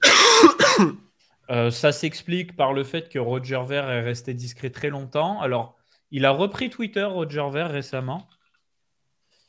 Euh, il continue de faire sa pub Bitcoin Cash en mode c'est le vrai Bitcoin comme cash électronique. Il va dans plein de pays et il met en place des, des bandes de paiement Bitcoin Cash. Mais voilà, les gens s'en tapent. À côté de ça, bah, son ancien CTO, le gars qui a créé la blockchain, qui, qui est un Français d'ailleurs, je me souviens plus de son prénom et nom. Lui s'est barré du projet, donc déjà ça n'a pas rassuré tout le monde. Donc voilà, Bitcoin Cash pas très serein. Monero toujours là. hein. Monero toujours là. hein, euh, privacy by design. Officiellement, on n'arrive pas à retracer les transactions. Beaucoup utilisé sur le darknet, faut dire. Donc euh, Monero toujours là. Euh, Stellar, Stellar, je, je, je dors un peu. Je, je, rompiche un peu, honnêtement. Chainlink, Chainlink, à un moment donné, il va nous en faire une. Il va repéter lui. Chainlink, ils sont tellement au cœur de tout. Ils ont tellement fait une performance de fou sur le bear précédent. Et après, bon, bah voilà, ils ont atteint le top et c'est la situation baissière. Que quand on va trouver une structure, je compte sur toi pour le surveiller, Léo. Je pense que Chainlink, il peut, euh, il peut fondre très longtemps. Mais quand on va voir une structure, il va mettre bien, je pense. Ça, c'est un pari personnel. FTT, on en a parlé. Je pense pas que FTT euh, va disparaître. Je pense qu'il restera toujours dans le top 50 ou le top 75 parce qu'il y a FTX derrière et qu'il aura Ouais. toujours une utilité. Un peu comme le BNB, mais le BNB c'est encore mieux parce que c'est un token de. Enfin, c'est un gas token, il est utilisé, etc. sur une véritable blockchain, etc. FTT tient euh, en termes de capitalisation, en termes de rang. Donc, euh, donc voilà, après, j'ai pas de gros spéculation, enfin de, de gros biais haussiers pour Je suis l'instant. passé euh, au travers de Nier. je suis désolé, je suis complètement passé au travers de Nier. Nier, c'est sur le papier de la grosse frappe. Il faut qu'on fasse un article sur le sujet d'ailleurs, sous peu. C'est euh, des tronches. euh, c'est un bon sous-jacent technologique comme Avalanche avec une finalité des transactions euh, très rapide. Euh, penser à interopérabilité, penser à ergonomie, etc., etc. Maintenant, il faut voir plus de concret dans l'écosystème NIR. Ils ont déjà une chaîne EVM qui s'appelle Aurora, mais sur le, sur le papier, c'est de la frappe. Maintenant, il faut toujours laisser le temps au temps. Moi, moi j'aimerais bien parler d'un truc vite fait. Ouais. Euh, je sais pas toi, mais j'ai l'impression qu'il y a tellement de gens qui vont finir par hold des projets qui, qui n'ont aucun avenir et qui vont finir à zéro. Genre, Ouais. parfois, c'est important de recentrer aussi son folio. Enfin, je pense notamment genre, aux projets qui sont hyper hype, du style tout ce qui est au lieu- autour du, des play to earn, euh, des métaverses, etc. en fait, c'est des milieux, des industries qui bougent tellement vite qu'il n'y a pas genre de winner euh, too big to fail. Genre du style, euh, je sais pas, genre FTX, Binance, c'est quasiment too big to fail. Il y a quoi Enfin bref, tu vois, des, trucs genre vraiment quasiment, ils peuvent pas tomber. Genre les métaverses, les play etc., c'est toujours des trucs éphémères. Genre, je pense même aussi à une partie du, ouais, du gaming, je pense bah, pour moi, Stephen, euh, je sais pas ce qu'ils vont faire, mais pour moi, c'est pas un truc qui va spécialement s'apprécier dans le temps. Je pense que c'est surtout euh, exploiter un peu les mécaniques à court terme et, euh, et, passer son chemin. Mm. donc voilà, après, encore une fois, je suis prêt à changer d'avis si jamais le prix me montre autre chose. Mais, mais voilà, tout ce qui est un peu genre qui se bâtit sur des hypes à court terme, je pense personnellement que c'est des choses qui vont finir à zéro et que c'est important de savoir les lâcher. Le but, c'est pas de les lâcher pour euh, forcément du stable. Peut-être ça peut être recentrer son folio autour de Bitcoin et Ethereum. Mais voilà, c'est pas forcément le bon moment nécessairement pour le faire. Ça, c'est à vous de décider quel est le bon moment. Moi, j'en ai aucune idée. Mais euh, c'est un truc qu'il faut garder dans un coin de sa tête et auquel il faut réfléchir, je pense. beaucoup de UOS Maxi. Hein. Désolé, ça envoie le message dans les deux chats. Mais euh, maintenant, il faut attendre que la plateforme sorte. Moi, je pense que ça va être sympa. Mais il faut voir aussi à quel point le jeton sera au cœur de tout et utilisé, etc. Donc il faut, il, faut, il faut attendre. Pareil, hein, Cosmos, euh, Cosmos, il fait que fondre parce que la tokenomique, elle fait tiep. OKEX, on n'en parle jamais, mais c'est un gros exchange aussi. Hein. Ils ont un jeton qui est 29e, hein. sans déconner. Donc on va pas faire tout le, tout le top 100. Voilà, je, je vais faire rapidement. Euh, Flow, ils font pas mal de partenariats, donc why not? Uniswap. Alors, moi, les jetons de gouvernance de la DeFi, je ne sais vraiment pas quoi en penser, les gars. Franchement, euh, pour moi, euh, en fait, j'ai du mal à mettre de la valeur sur ces choses-là parce que c'est un usage qui est tellement niche. Autant Uniswap, c'est de la frappe, autant le jeton d'Uniswap, qui ne sert même pas à payer les frais ou quoi, je suis un peu, un peu limite. VeChain, pour moi, il va rester parce qu'au-delà du fait qu'ils font plein de trucs, les, les, petits nouveaux, ils aiment trop VeChain. Ça coûte pas cher, ils bossent avec Louis Vuitton et compagnie. non, moi, ça me fait euh. péter un câble, gros. Il y a trop d'influenceurs avec des grands guillemets qui en parlent. Moi, ça me fait disjoncter, gros. Je te jure. Ah ouais? On parle tout le temps du VET. Moi, ça me fait disjoncter, gros. Je, vraiment, j'ai l'impression que c'est le Shiba bis, tu vois, genre en mode. Ah, c'est un, petit Shiba. Hein. C'est un petit Shiba, hein. mais, mais, mais alors, tu vois, mais alors ça, c'est pareil. C'est-à-dire que le, le VET, c'est un jeton de gouvernance que tu utilises normalement quand tu es un nœud sur le réseau. C'est même pas pour payer les frais de transaction. Les frais de transaction, tu les payes en VTHO, Vetor euh, Token. C'est lui le vrai token utilitaire. Et les gens s'en branlent parce qu'il n'est pas dans le top 100 et qu'il s'appelle pas VeChain. Et c'est pour vous dire un peu aussi la, la niaiserie du marché, quoi. C'est que Ether, tu mises sur l'ETH parce que tu, l'utilises pour payer. Le VET, tu, voilà, tu, spécules sur euh, VeChain. Donc faites gaffe à ça aussi, effectivement. Edera, un peu trop centralisé à mon goût. Euh, Ape, euh, j'attends le métaverse. Tezos, il, garde la. Il dit, la garde a en partie raison quand on voit ça, mais gros, genre, tu regardes les stocks, tu regardes plein de trucs. C'est pas ah. parce que ça baisse que, genre, la garde a la raison. Genre, il y a, enfin, il y a plein de boîtes françaises, hein, françaises, américaines, des, des penny stocks ou genre des, des, boîtes qui ont des faibles capitalisations, qui ont le même genre de comportement et qui se bastissent sur des, petites hypes. Mais eux, ils sont cotés en bourse et tout, et ouais. c'est clair. Tranquille, c'est accessible de tout le monde, euh, voilà. Là, c'est juste que forcément, euh, peut-être c'est euh, surcapitalisé ou on donne beaucoup d'attention à ces projets-là parce qu'ils sont, c'est des cryptos et que c'est dans le top 100 coin market cap, mais mais voilà, c'est pas parce que ça baisse que euh, ah bah euh, tout de suite c'est le mal. Euh, bah à ce moment-là, tu vas. Je crois Air France qui ont pris moins 40 ou moins 60% une journée. Air France, c'est catastrophique, ouais, parce qu'ils ont capitalisé l'entreprise, je crois. Ouais. Propre, hein Propre. Carré, carré dans le Banks, mon ref. Alors Snapchat aussi, il paraît que c'est quelque chose. Snapchat, ouais. Ouais, moins 70%. Mois, 6 mois, en 6 mois. Hein. En 6 mois. Netflix, moins 70%. Donc voilà, hein, les gars. Hein. Mais après, c'est un peu la même chose. C'est-à-dire que tu peux avoir une entreprise, c'est de la frappe. Mais quand les marchés ils, partent en sucette, en mode bull run de chez bull run, au bout d'un moment, les capitalisations, elles sont bizarres. Mais c'est aussi pour. Bah, en fait, juste on corrige l'excès. Tu vois, genre. Tu vois, le marché, il est euphorique. Tu as beaucoup de particuliers qui rentrent, ils se font rect. Ensuite, ils se font sortir en mode bon, bah, je vais rien récupérer. Et puis après, on repart pour une un autre cycle, une autre parabole, une autre tout ce que tu veux. Et donc, c'est pour ça que moi, je commence à m'intéresser, justement, à, euh, bah, aux stocks, en fait. Parce que je me dis que si macro, tôt ou tard, tu vois, niveau macro aussi, tôt ou tard, on trouve euh, quelque chose d'intéressant que les marchés traditionnels rebondissent. Bah, Netflix, je pense pas que ça disparaisse. Airbnb, je pense pas que ça disparaisse. Spotify, j'en sais rien, tous ces trucs-là. Euh, Amazon, euh, Apple, ou, etc. Et, et, voilà, donc c'est plus dans ces moments-là qu'il faut buy, je pense, que, que, que quand ça, ça, monte en ligne droite. D'un point de vue purement investissement, je pense qu'il n'y a pas grand-chose qui a changé. Alors après, moi, je connais pas leurs résultats, je connais pas leurs bénéfices, euh, je sais pas, je connais pas le fond, si l'acquisition d'utilisateurs baisse largement, s'ils sont en perte ou quoi.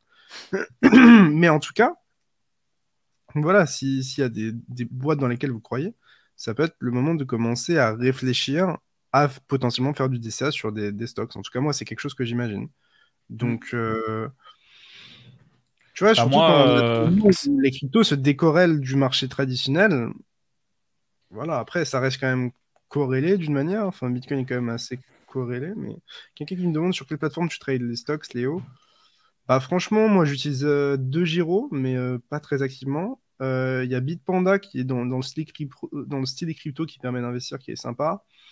Mais moi, j'aimerais vraiment investir genre en mode je vais sur Uniswap et j'ai des, des, boîtes, tu vois. ouais, bah, comme Mirror Protocol qui était sur Terra Luna. Hein. Non, mais je sais pas combien il y a de projets comme ça ou qui mais voilà, moi, c'est le genre de choses qui. Il y a aussi. En fait, j'ai pas envie de KYC et j'ai pas envie d'avoir besoin de réaliser une plus-value, en fait. Parce que, en fait, si je, si je trade les stocks actuellement, je suis obligé de réaliser une plus-value et de passer mes cryptos, mes stablecoins en véritable euros ou dollars. Et du coup, bah, il y a un fait générateur euh, d'impôts Mm. et, et, et, bénéfice. Et donc, à ce moment-là, euh, voilà. Donc, c'est pour ça que moi, je, sur FTX, tu peux, bah, c'est tokenisé, mais c'est pas les. Enfin, c'est. Moi, moi j'arrive pas à y accéder. J'ai rempli le form, il y a un bug, je sais pas quoi.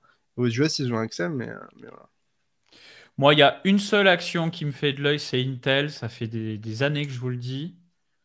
Parce que Intel, euh, là, depuis que c'est le nouveau patron et qu'ils sont en train de bosser sur la 13e gen, pour les processeurs. Il y a les cartes graphiques qui vont arriver, mais les cartes graphiques au début, ça va puer la merde. D'ailleurs, ça devait sortir en début d'année, c'est retardé. Mais Intel, ils vont nous faire un bac.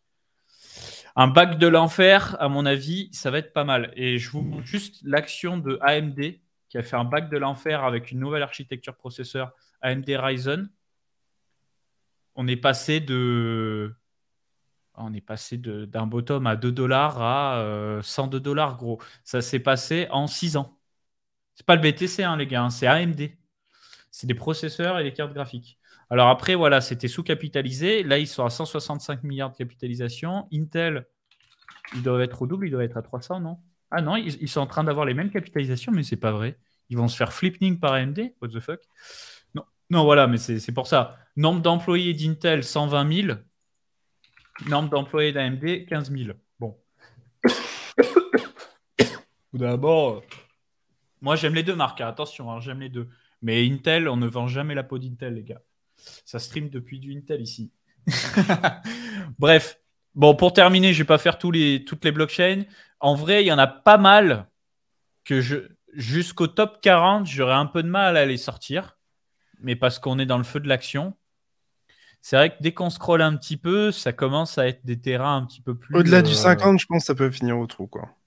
Ouais, à, part quelques exceptions, et encore, hein, franchement. Euh, Mais Stephen, moi je l'ai short quand il était euh, top 35, 40, c'est un truc comme ça. Pour moi, quand, j'ai vu Stephen entrer dans ce top-là, c'est le moment où j'ai commencé à short. Non, non, mais Eagle, euh, je suis assez confiant parce qu'ils ont une bonne façon de procéder, en tout cas, en termes d'influence. Julien Boutou qui a dit que c'était bien. Donc apparemment, c'est bien. Mais il paraît, hein, il, paraît qu'il y, y, a des trucs sympas au niveau smart contract, au niveau interop et tout. J'attends plus de concret, mais Mais je les, je les rabaisse pas du tout, Elrond. Franchement, je pense qu'ils. Moi, quand je critique, c'est plutôt euh, les, les, les, fanatiques, en fait. les comportements des fanatiques euh, euh, vis-à-vis d'Elrond, ou, ou peut-être le manque de use case, hmm. enfin, en tout cas, d'application sur, sur Elrond. Mais, mais, mais voilà, s'il y a des gens talentueux comme Julien Bouteloup qui, qui, qui valident. Et d'ailleurs Tezos, je l'ai passé, mais en fait, c'est que Tezos, c'était ultra méga hype. C'est une blockchain qui est très décentralisée. Nous, on n'a pas spéculé dessus en termes de NFT, de projets sous-jacents, etc., etc., mais ils sont toujours là. Hein. Alors après, je dirais qu'ils survivent par beaucoup de marketing en ce moment, mais c'est le jeu, hein. C'est le nerf de la guerre. Mais j'aimerais bien un peu plus de, projets dessus. Il, il se passe des trucs dessus, mais pas suffisamment pour que ça nous arrive aux oreilles mais ils sont là. Pour combien de temps, je ne sais pas. Ouais. Et après, ouais, en fait, comme on a dit, hein, passer le top 50, même EOS lui laisse un peu d'espoir, mais passer le top 50, euh, je pense qu'il va y avoir beaucoup de projets qui vont partir à la cave. Parce qu'il manque de, il manque d'utilité euh, dans le fond. Putain, le, Terra classique, il est encore 73e. C'est fou. C'est fou. Ce marché est fou. Bref, ça fait 2h10 euh, qu'on est en live, les, potes. Euh, si vous ne nous suivez pas sur Twitch, n'hésitez pas à le faire. Voilà, petit follow Twitch. Nous, on stream tous les dimanches avec Léo euh, pour vous parler de crypto-monnaie, de marché, d'actu, de trading, de tout. On parle même de marché traditionnel, si c'est pas beau, franchement. On peut même parler de gaming. C'est incroyable ce live. Du coup, là, n'hésitez pas à nous suivre. à chaque fois, les rediffs sont dispo sur la chaîne de Coin Academy. Et il n'y a pas que les rediffs, bien entendu. On vous parle aussi euh, de plein de concepts de base. On fait des interviews de personnages intéressants de l'écosystème crypto. Et on compte vous faire aussi tôt ou tard euh, des tutos. C'est qu'une question d'organisation, mais ça va se faire. Je vous laisse du coup dans le chat la, chaîne Twitch. Road to 3000 abonnés. Il y a quelqu'un qui me parle du Ape, Apecoin. Euh, moi, je fais du DCA globalement entre 0 et 5 dollars.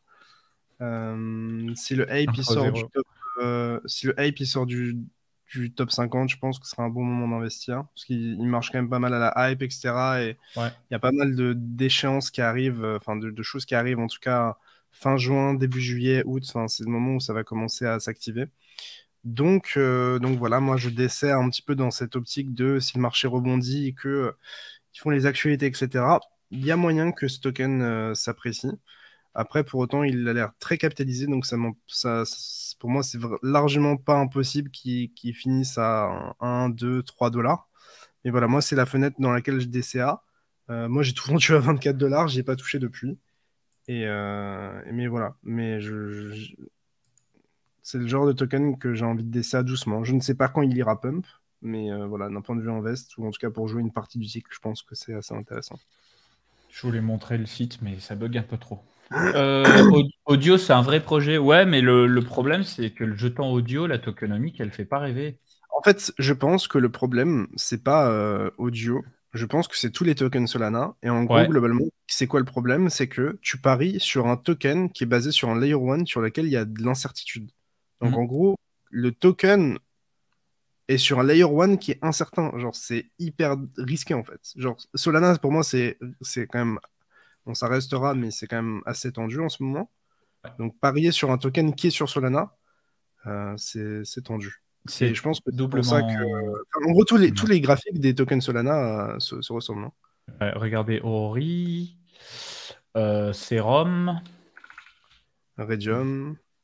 Serum. Regardez ça. Serum, moins 92,5%.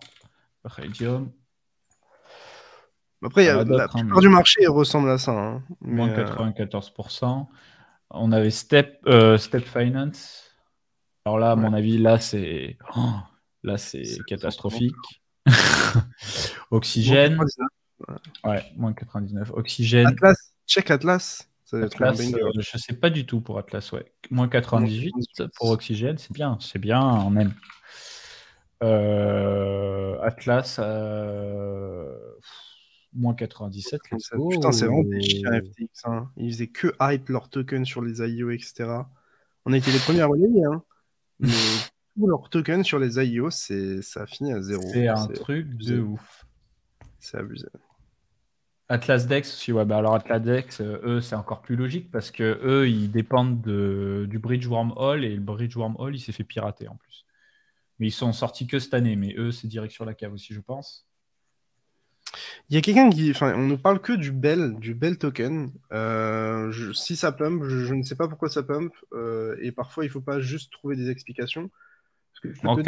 ouais, c'est un, un, top performer D'accord, il y a euh, du volume. Pourquoi? Alors attendez. Je n'irai pas me jeter dessus, honnêtement. Ouais, faites gaffe. alors, juste... alors, juste, je peux passer peut-être sur mon, écran. Mobile banking into crypto, juste c'est DeFi sur mobile, d'accord. Ouais. En gros, pour moi, là, le niveau, il est assez obvious. Enfin, là, c'est vraiment, pour moi, simple. C'est quoi? C'est, globalement, on a un support qui est euh, weekly ici. On a trouvé du support sur cette zone ici, quasiment sur cette zone ici, sur cette zone ici avant de consolider. Et ensuite, derrière, on est passé en dessous et on, est, on a fait un gros pump. Donc, si on arrive à maintenir cette zone ici verte comme support, à ce moment-là, pour moi, le contexte est haussier. À partir du moment où on commence à clôturer sous la zone verte, je pense qu'on va continuer à faire des all-time lows. Hmm. Et partir globalement à zéro. Donc, tant qu'on est sous la zone verte, biais haussier, potentiellement la zone à acheter si jamais on est boule sur, euh, sur euh, Bell, etc. Mais voilà, après, c'est probablement un shitcoin ou un truc qui sort de nulle part. Euh, le truc qui pump pendant que tout dump, donc forcément ça attire l'attention. Moi, j'irai pas, pas m'enflammer sur ça. Mais si jamais il y a des gens qui s'enflamment sur ça, tant qu'on est au-dessus de la zone verte, ça va. Donc tant qu'on est au-dessus des 70 centimes, ça va. Si on passe en dessous, c'est à la cave, je pense. Pour donner un indice. On va se laisser là-dessus. Faites attention à vous. Même si vous aimez le marché des cryptos, même si vous êtes très très convaincu, euh, réfléchissez à chacun de vos bagues. Si vous êtes vraiment convaincu de votre bague ou pas. Et pourquoi Et comparez-le à ses concurrents, s'il est dans une catégorie d'actifs, si c'est un play to earn, si c'est un layer one, etc. Faites vos devoirs. Euh, et puis, bonne chance à tous. Passez une bonne soirée. Just